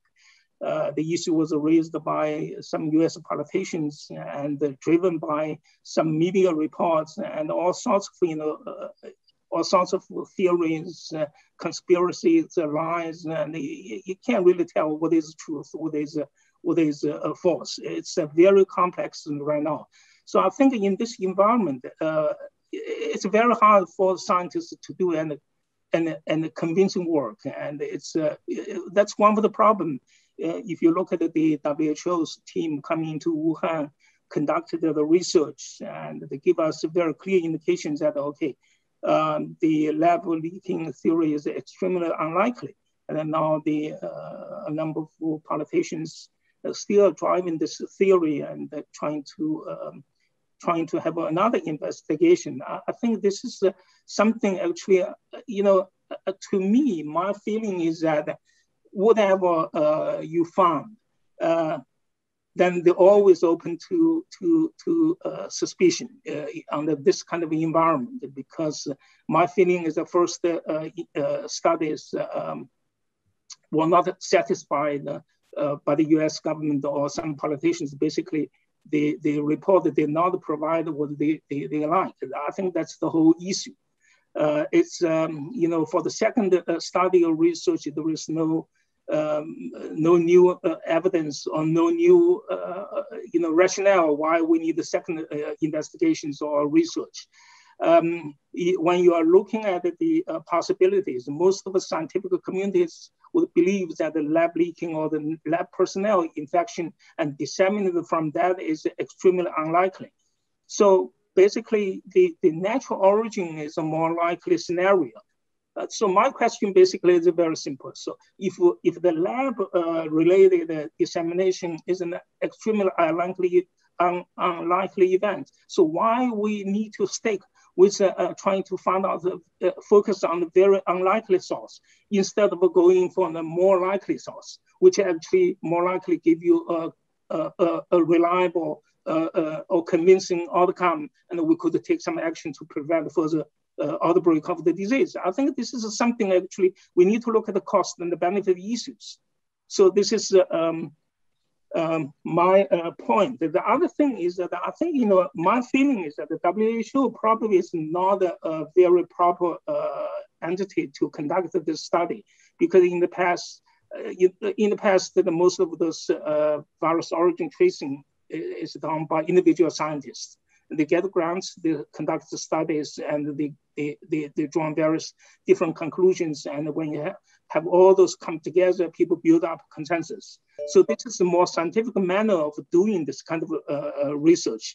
So um, uh, since the time is uh, running short, I, I, would like to propose that um, I, I, think it's more uh, uh, more adequate way of doing this is that let's you know create some uh, uh, some kind of a research program. Let's the scientists do the research, individual scientists, just as we do the research uh, in uh, other uh, uh regular research and from the evolutionary biologists, from the epidemiologists, and also the public health expert from various different angles, and looking at the human factor, looking at the you know uh, wild animals, and natural factors, you know, all sorts of and clinical uh, uh, doctors also could involve. I mean, from all multiple phases of studies, then we come down to a certain consensus conclusion that I think would be much more uh, convincing and acceptable to people. So uh, this is pretty much uh, my point, using. Thank you. Back to you, yeah, thank you so much, Professor Wu. I know um, a lot of points uh, everybody wants to make, but time is really limited, and we have already gone um, gone on for one hour and 50 minutes. But it has been indeed fascinating and very uh, original and um, important suggestions having been made here. So we're going to go into a second round to give everybody the opportunity to react to what others have said or to uh, supplement or whatever they think they feel is necessary. Um, let's let's try to limit the time of that. Um, everybody will be given five minutes to react to whatever, whichever panelist you feel you most want to talk about, react to. And altogether, let's keep that into something like 35 minutes. And then I'll open the floor uh, if there are any questions from the audience or any additional points anybody here would, would want to make. And let me start with uh, uh, academician Wu Zhongyi here. Please go ahead, Professor Wu. Yeah, thank you. I, I can see sort of a sense broad agreement. And so I have actually a specific- Five minutes, please, each, everybody. Thank you. Sure, sure. So several panel, panel members uh, spoke about WHO's uh, uh, task, uh, uh, responsibility. So the many, many teams are, uh, research team are embarked on the search of the origin. And so what is really missing, and I keep pushing this point, there is no conceptual development. everybody talk about empirical ways of oh, you look this and look at that and use this machine and so on. But people should start thinking about the process of adaptation. For example, it, so I think it behooves WHO to develop a concept. For example, if you come to a place, wherever, whichever place, and look for the, the, the viral origin, you have to, to define how many mutations do you think uh, uh, make the vi virus uh, uh, uh, make the jump from, say, bats to human? And, and if it's a multiple mutation process, where did it happen? It, under what, of what kind of conditions? So I keep asking WHO to come up with the model. If you come to a place, whichever place it is, you are looking for a crime suspect, you have to define some broad outline what you're looking for. You're looking for tall guy, short guy, the, the, bald guy, or whatever. Uh, and the virus, what might be the feature of the virus? How many mutations you think would would would if, uh, make the jump? But we emphasize so much on empirical side of it, and and the the conceptual aspect is blank. Nobody say what we are looking for. Everybody say how we want to look for, how many members and what kind of lab notebook they want to look at. What, what if the virus is actually sitting in front of you? Do you have an idea that that's this virus I'm looking for? No, because we haven't think about it, thought about it. So let me just say one more thing, last thing. Please, WHO, please come up with the model. Every team is looking for it, and you are representing international effort. Use some brain, propose some concept, what you are looking for. So that's that's what I I'm, I'm asking very specifically. So under the current framework, actually, you should be asking this to the WHO and China probably because this is a joint study. So it's uh, probably not just the WHO that should be coming up with this uh, model. And even according to um, Professor Wu Zhiwei, it shouldn't really be the job of the WHO to look in for to to to be undertaking this task. Well, I think they are every team in every country, everybody's looking for it. And WHO is ostensibly the only one that represent international effort. So they should be the one, the glue, uh, hold everybody together. And that's the concept, not the technical detail. All right. Okay. Thank you, uh, Academician Wu. Next, uh, let me go to Professor Shi Feng. Your five minutes. Uh, yeah, uh, it's great to hear different voices, and uh, uh, and especially I would like to thank Luis because in fact we mentioned the same papers, the, the Professor Eddie Holmes, and uh, yeah, uh, th this paper is under review and sale, and uh, he has provided a lot of evidence supporting the uh, zoonotic or origin of SARS coronavirus too. So, so yeah, uh, I'm sure uh, it will be published and uh, it's worth reading. And uh, also, Louis uh, has said a lot about. Uh, so he he he is quite honest. He cannot. He he don't have the facilities and capacities to engineer such a virus near Professor Zheng Lishi. Yeah, uh, so this is uh, uh, what uh, we want to share. So, uh, so this actually responded to um, Jonathan. Jonathan, in his presentation, he mentioned the gain of function studies. In, in fact, so no scientists can do this now because so my question is, where is the starting point to do this experiment? Where is the genetic bone, the genetic bone for this study?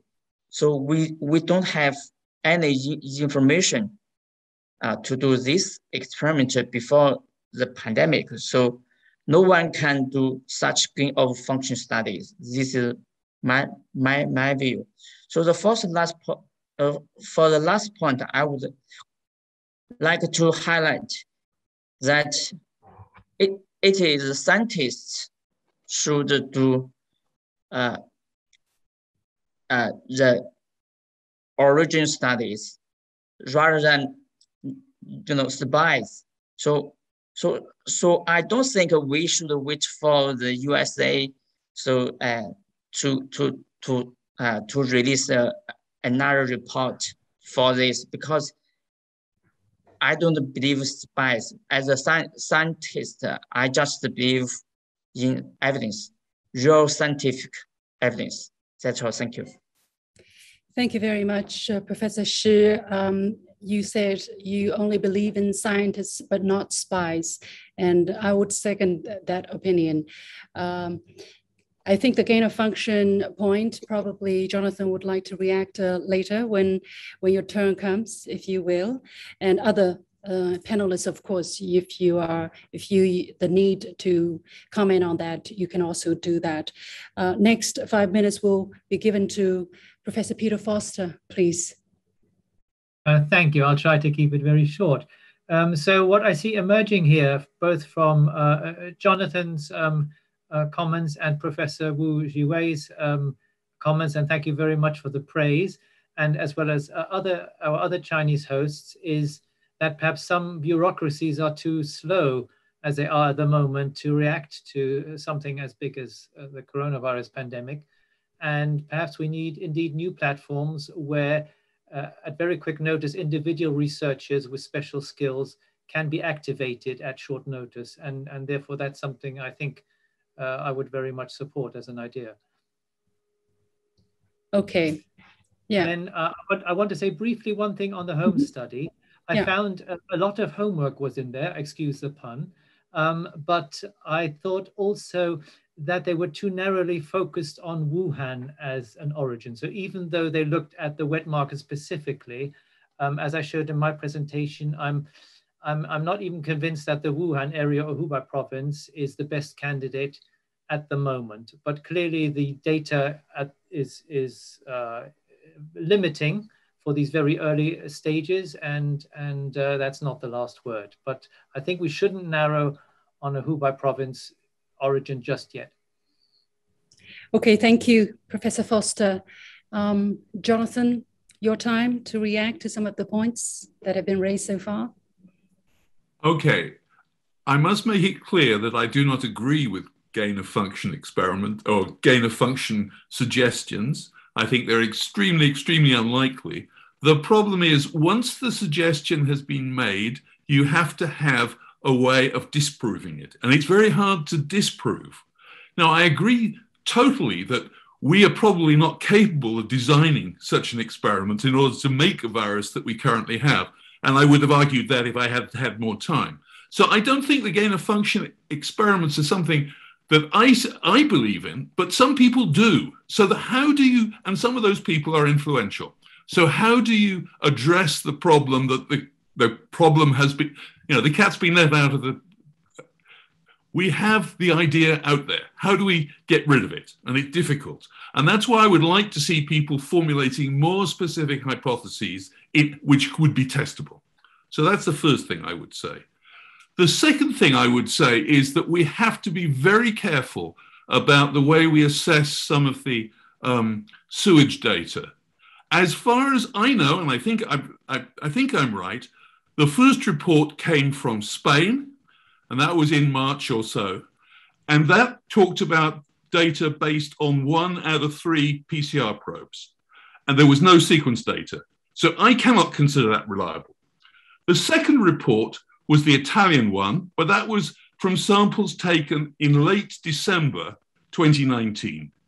The third one was a French one, and that sample's taken uh, in March 2020. So I don't think it's it's one can conclude from these studies that there was virus floating around in Europe at that particular time. And I think the general point would be is that we have to be very careful to look at the data that is presented before we draw conclusions from it. And I'm slightly worried that people haven't been looking at the data hard enough. Mm, thank you, Jonathan. Uh, I think there are more papers that have been published that actually point to earlier emergence of well, uh, the progenitor. I mean, I would like to know where they are. Yeah, I yeah. mean, I just googled them. I can't find. Very, no, for instance, the very uh, the latest that I know is the preprints with the Lancet, which po was posted on uh, early August, which says that researchers in Italy estimates that SARS-CoV-2. At what date? What date yeah. were the samples taken? Yeah, uh, the the the the, yes, the uh, conclusion is that they estimate SARS-CoV-2 progenitor of known human infections to have uh, emerged in late June and late August 2019 in Lombardy, northern Italy. Uh, if anybody's interested, it is open source. People can go and find. But I think the researchers will definitely not make this kind of estimates based only on very few number isolated weak evidence uh, in your words and they have a way to find to, to say whether the date of the collection of the samples can actually point to that kind of preliminary conclusion. But anyway, just to just to uh, you know allude to the fact that there are studies which are pointing to an even earlier date of this virus emerging in Europe, mid mid June and mid or and late August, late June and late August 2019. So that's a very important uh, aspect in the whole thing. Anyway, it's it's it's not for me to to be arguing you here.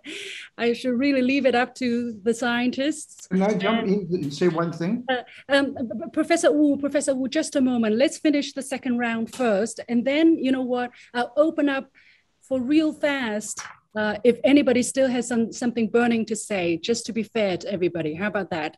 Um, yeah, sorry, Professor Wu. Let me go to Eric Ding. Your five minutes, please. Yes, I thank you. This is a very interesting debate, and I'm really glad you guys organized it. I think, first of all, that um, it's not just a wastewater. Um, there is the there's the in Turin um, or near Milan, Italy. There was a child who was diagnosed with uh, COVID from his blood samples. Uh, he got sick end of October and was positive in early November. And the CDC blood sample study was um, published in Clinical Infectious Diseases, and it was actually dated prior to November. I think it was, uh, I think October, September was the date in which they had found the archived blood samples with the positive results. So, so those are not false readings so whatsoever. Um, and so, in terms of gain of function, you know, I I also work in policy, and you know, one thing is policy is oftentimes driven by optics.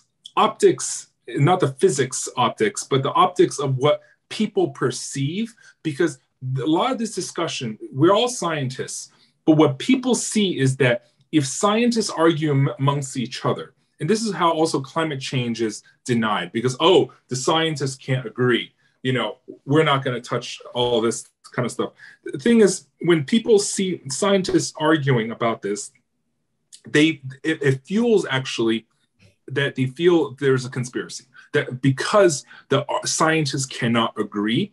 So when we kind of disagree with each other, we have to disagree in a nuanced way. And, and for the lay public, they need to hear, oh, we agree on this, but it's just these minor details that we disagree on.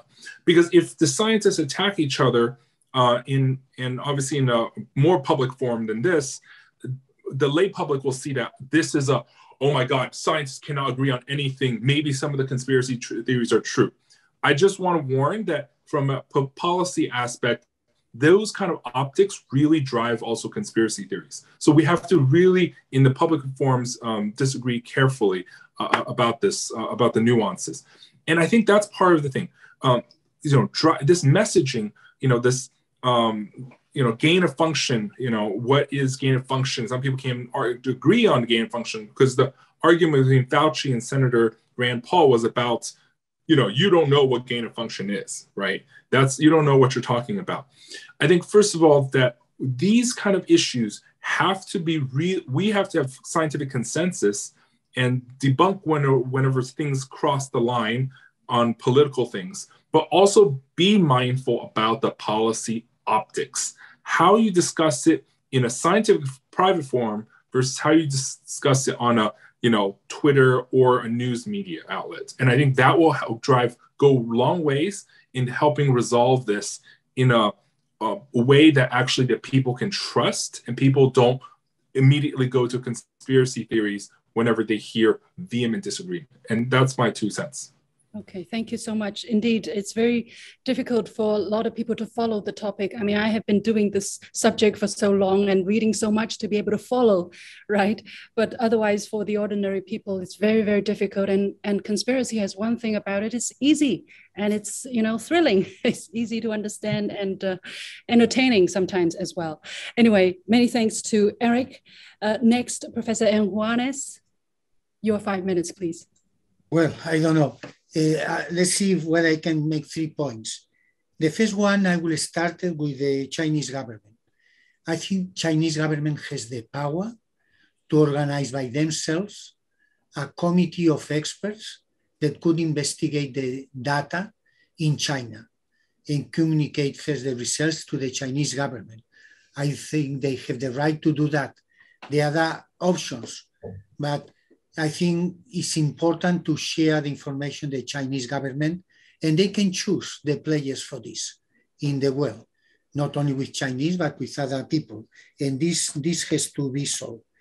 Then if I reply to, to uh, Hu Chung from Chicago University, what you are asking for is almost impossible because viruses, they can make thousands, possibly millions, they can follow millions of mechanisms to change virulence, to go from non-infected crossing species, just with that can take the mutation of a single amino acid on the receptor binding site, but that can be a matter of the polymerase that contains 16 different genes.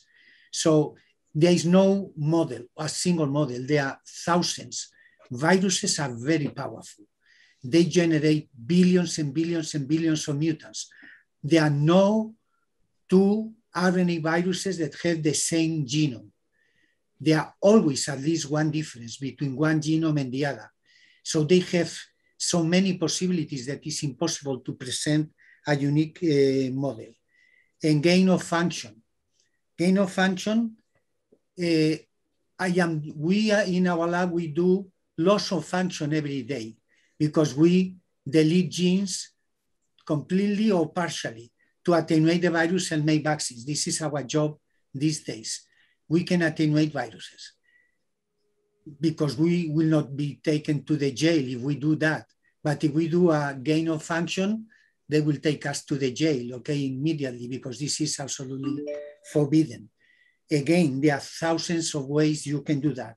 A single change, a single mutation on the E protein, envelope protein that destroy, uh, destroys ion channel activity will kill the virus. And you can restore that by a compensatory mutation. So this is again a highly complex matter, but you cannot work on this. You can work in one direction, attenuation. This is fantastic because this is the modern way to develop vaccines but not in, in the gain of function, you can do that. You better don't do that in Europe or in United States because you will go to the jail next day.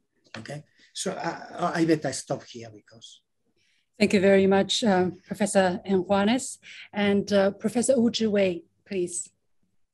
Um, I think, you know, finding uh, the virus origin is more like an uh, detective in a forensic analysis. You start with uh, many different possibilities, trying to broaden your scope and to see what actually are likely or probably uh, I, I, think you know this is the right way to do. That you need to broaden uh, scope and looking for different possibilities, and gradually, based on evidence, you narrow down to two probabilities, and then focus your effort and your resources on those highly possible or probable events. I think this is something actually we're missing in the early stage of this virus origin finding, uh, I think a part of the reason is that uh, a few politicians are trying to steal the entire uh, narratives. And so the scientists are pretty much on the sideline of the whole uh, scenario in finding the, the virus origins. So this is something actually, if we are serious trying to find where the virus came from, how it evolved, and getting into human and disseminated, we need to do in a scientific manner. That's the uh, one point. The other thing is that for the WHO's role, I think it's better, as Professor Wu mentioned in the uh, in, in, in the uh, speech that um, WHO could set certain parameters and uh, concept and what we actually need to fund and leave all the rest of the job, uh, the detailed analysis, tracing, evolutionary uh, uh, study, and the sequence, all sorts of technical issues, leave to the scientists, the individual scientists, let them do the job, and then come uh, with a consensus. This is something actually science could do the best, not politicians. Uh, not uh, you know uh, senators, president. So this is I think what, what we need to do in the future virus origin tracing. The other is that, uh, you know, sometimes as uh, Professor Stoy mentions about the gain of function, it's, um, I think, you know, technically it's very hard to disprove this because it's like, you know, uh, the, the some of the uh, politicians are saying, okay, during uh, the uh, during the late September, people, three people in in Wuhan instead of a virology became sick, and then they, they, they, didn't provide the name of who actually became sick. And for for what reason and where they hospitalized, and they if they refuse to provide the information, then you can't prove it because because you have if you if you do not have such patient, then how, how can how can you prove that you don't have it? So this is more like a kind of a trap. Okay. So I think this is something actually we should avoid in terms of you know this uh, this virus origin uh, uh, finding. This is uh, as a scientist, I think we all should bear in mind that the politician politics should not step into this um, this kind of issue. Otherwise, then uh, the international collaboration, collaborative speed and the spirit of the science will break down. So uh, this is my, uh, thank you. Yeah. Thank you very much, Professor Wu. Uh, I, I, probably see there are still people who want to follow up and uh, react. How about this? Um, I'm going to give another 10 minutes for a free for free you know intervention if anybody feel like doing it and make it really fast and efficient. I see professor wu already raising your hand. Okay anybody else who wants to make a point please make a sign and i'll go to you next. Professor wu chongyi please try to make it short. Okay i will uh, uh, try to address the issue of professor Ingguang's say that I, I i sort of don't quite agree. I think in science we always need a model and hypothesis we always know that our models are, are, are wrong, but without a model, without hypothesis, uh, we cannot progress. And, and I don't think virus is more complex than Drosophila, which I work on, or human or plants. So I think the viral a model to guide our thinking and approach is absolutely necessary. But my original point is, is was raised in, in the context of, of uh, papers about uh, uh, early origin. And I, I think this Lancet uh, paper, it's, it's actually Lancet archive, uh, is absolutely interesting that I urge everybody to read it. If it's correct as they claim, everything we discussed today will be totally changed. Trust me. That I read the paper very, very carefully. The, the group had published another paper. Uh, they, it's not that they, they, they identify the sequences the sequences actually have the three correct mutations. And that make it very believable. So please read this paper from the researcher at University of Milan. That's all I want to say here.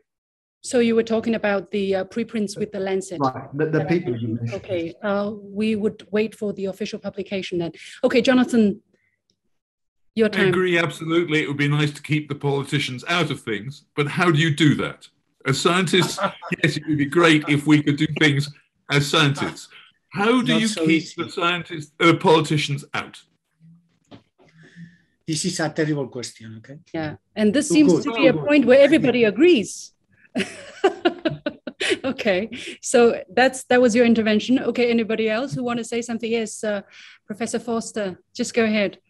Yes, well, um, first of all, I just wanted to offer some common ground between what you said, our host, and uh, Professor Jonathan Stoy on, on the Italian study. I, I looked at the Italian uh, uh, immunological study, and I, I, agree that the baseline there doesn't look as if it's conclusive to me. But on the other hand, I do agree that if you just calculate using the mutation rate, when uh, the epidemic started, then you do get dates which are autumn. So that, that is on your side. So I hope that's common ground so we don't argue amongst each other like like mm. Eric was warning us against. Yeah. Um, the other thing is, I think uh, there's no point saying politicians aren't allowed to comment or uneducated people aren't allowed to comment. I think as scientists, we need to provide a plausible, well-founded solution, and then all these counter arguments will dissipate naturally. So I think we shouldn't focus on criticizing politicians or telling them not to comment. I think we should focus on getting our story well-founded and correct and then all the other problems are solved. Absolutely, I agree with you. And I think, you know, this whole discussion has been a breath of fresh air for me, because to hear people who know what they're talking about talk about this. Um, any, any other uh, comments, any other intervention and somebody would like to make about this? Um, okay, if not, um, Shicheng, do we have any questions should I open the floor for any possible Q&A? I do see a comment here, but it's not really, it seems like a rhetorical question instead of a, a real question about science. Do we have anybody in uh, who are listening to this who would like to ask a question to any of our panelists? If so, please do that now. Yeah.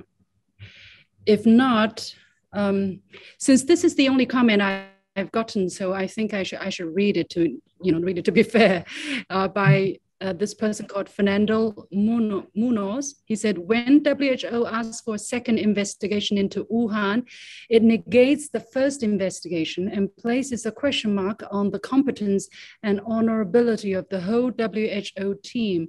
However, if WHO was compromised, why should China accept a second investigation? And why even ask for an investigation into Fort Detrick?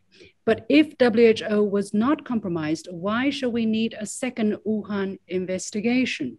This all points at this question who would benefit from muddying the waters?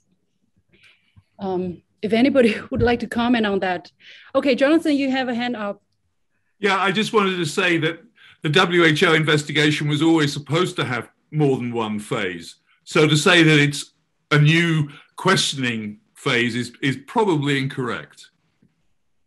But it is interesting, and I would like to ask my uh, have my questions asked here because the WHO does seem to have uh, at least gone back to what they have said in the first report. You know, I mean, the first report, the, the phase one report says, you know, the lab leak is uh, extremely unlikely.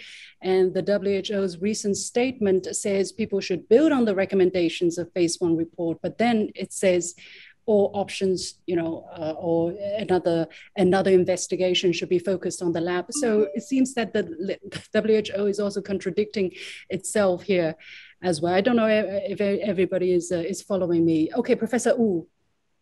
Yeah, I agree with uh, uh, Professor Stoi's uh, point that the WHO's uh, uh, investigation could be multi-phase, but the issue is that if the first investigation has the conclusion that it's extremely unlikely, then there is uh, uh, an issue here why you need to come back and to look at this, uh, the issue which is already concluded as most uh, extremely unlikely. And there are many other possibilities which actually urgently need to be addressed. So uh, this is something actually, uh, as I mentioned, that we are uh, we are in the heart of a pandemic. We need to focus on the more, most uh, urgent issue, trying to you know, stop the virus from spreading and the people are dying. Uh, you, we, we, we shouldn't just uh, uh, address very few politicians' concern. I mean, I fully agree with Professor Foster's point that we need to talk to them, uh, communicate with politicians. Uh, uh, uh, what,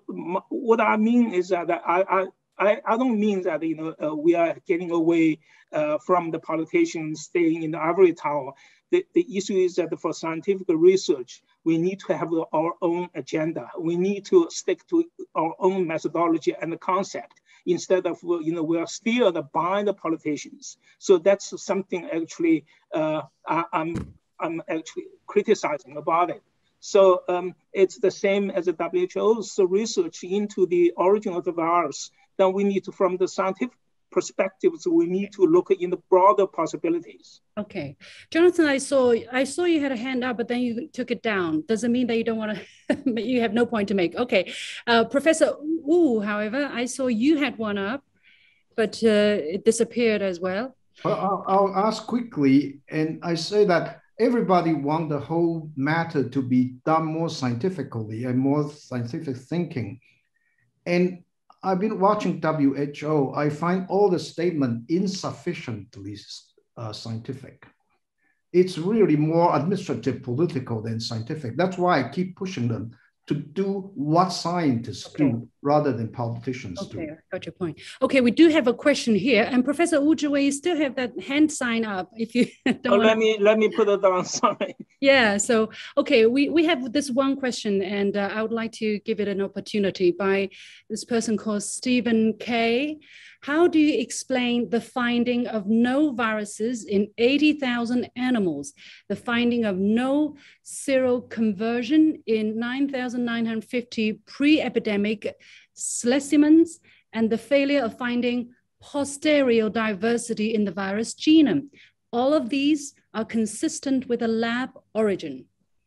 So for the scientists who are, okay, uh, Professor Shi, thank you. Uh, I'm I'm glad to answer this question because I have been uh, sampling a lot of uh, wild animals and uh, have I identified uh, some uh, uh, coronavirus 2 related coronaviruses from these wild animals. We also performed a simulation study and we found so for bats, especially how horseshoe bats. They are distributed uh, across a wide uh, geographic range uh, in most parts of Asia. You, you can find uh, such bat species. So for uh, for the uh, 80 for the 80,000 animals mentioned in the WHO report, I think it's just you know, it's just a, a very small number of the samples. All, also, all the uh, animals, all the samples were collected from China. Uh, so if you expand this uh, uh, sampling sampling efforts to other countries to a, a, a much broader uh, geographic range, I think you will find uh, even uh, PCR positive or antibody positive samples, it's quite easy because uh, such viruses, such uh, uh, SARS-2 related virus are just there. That's all, thank you. Okay, Professor Shi, thank you very much.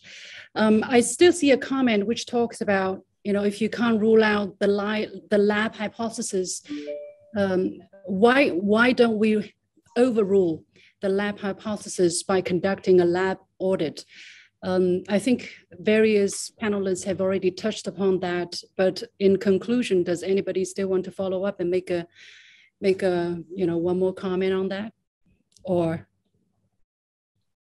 it's pretty much already clear. I think people already answered that question as well. I, you know, probably as uh, Professor Wu mentioned, how can you prove that you don't have something when you don't have it? and again, to which point can you prove that you don't have it? So, and, and I think that is not a scientific matter anymore. Uh, of course, that's just my opinion. Thank you so much to all the panelists. We have uh, really gone on and on quite much longer than the original time schedule, but it has indeed been very interesting. I think by and large, uh, to to come back to Eric's point about you know the optics, I think the great majority of the scientists here do agree that it it most likely come from a zoonotic source, right? I mean, I don't think there is a, a huge huge uh, disagreement there, um, but that's again my contraction from from this discussion. If there is no clear objection, Shicheng, it is back to you. Thank you. Thank you, Liu Qing, for your wonderful moderation. And thanks to our scientists for sharing those enlightening uh, opinions in very professional and scientific approach and also for our audiences. I enjoyed this discussion very much and do think that uh, such discussion are generally too few. Uh, this fruitful discussion suddenly gave me a new idea to, to summarize. I think all of the activities, we do have some, at least share some consensus. For example, we should rely on scientists to keep it from politicians. Uh, uh, most likely it is uh, related from the nature.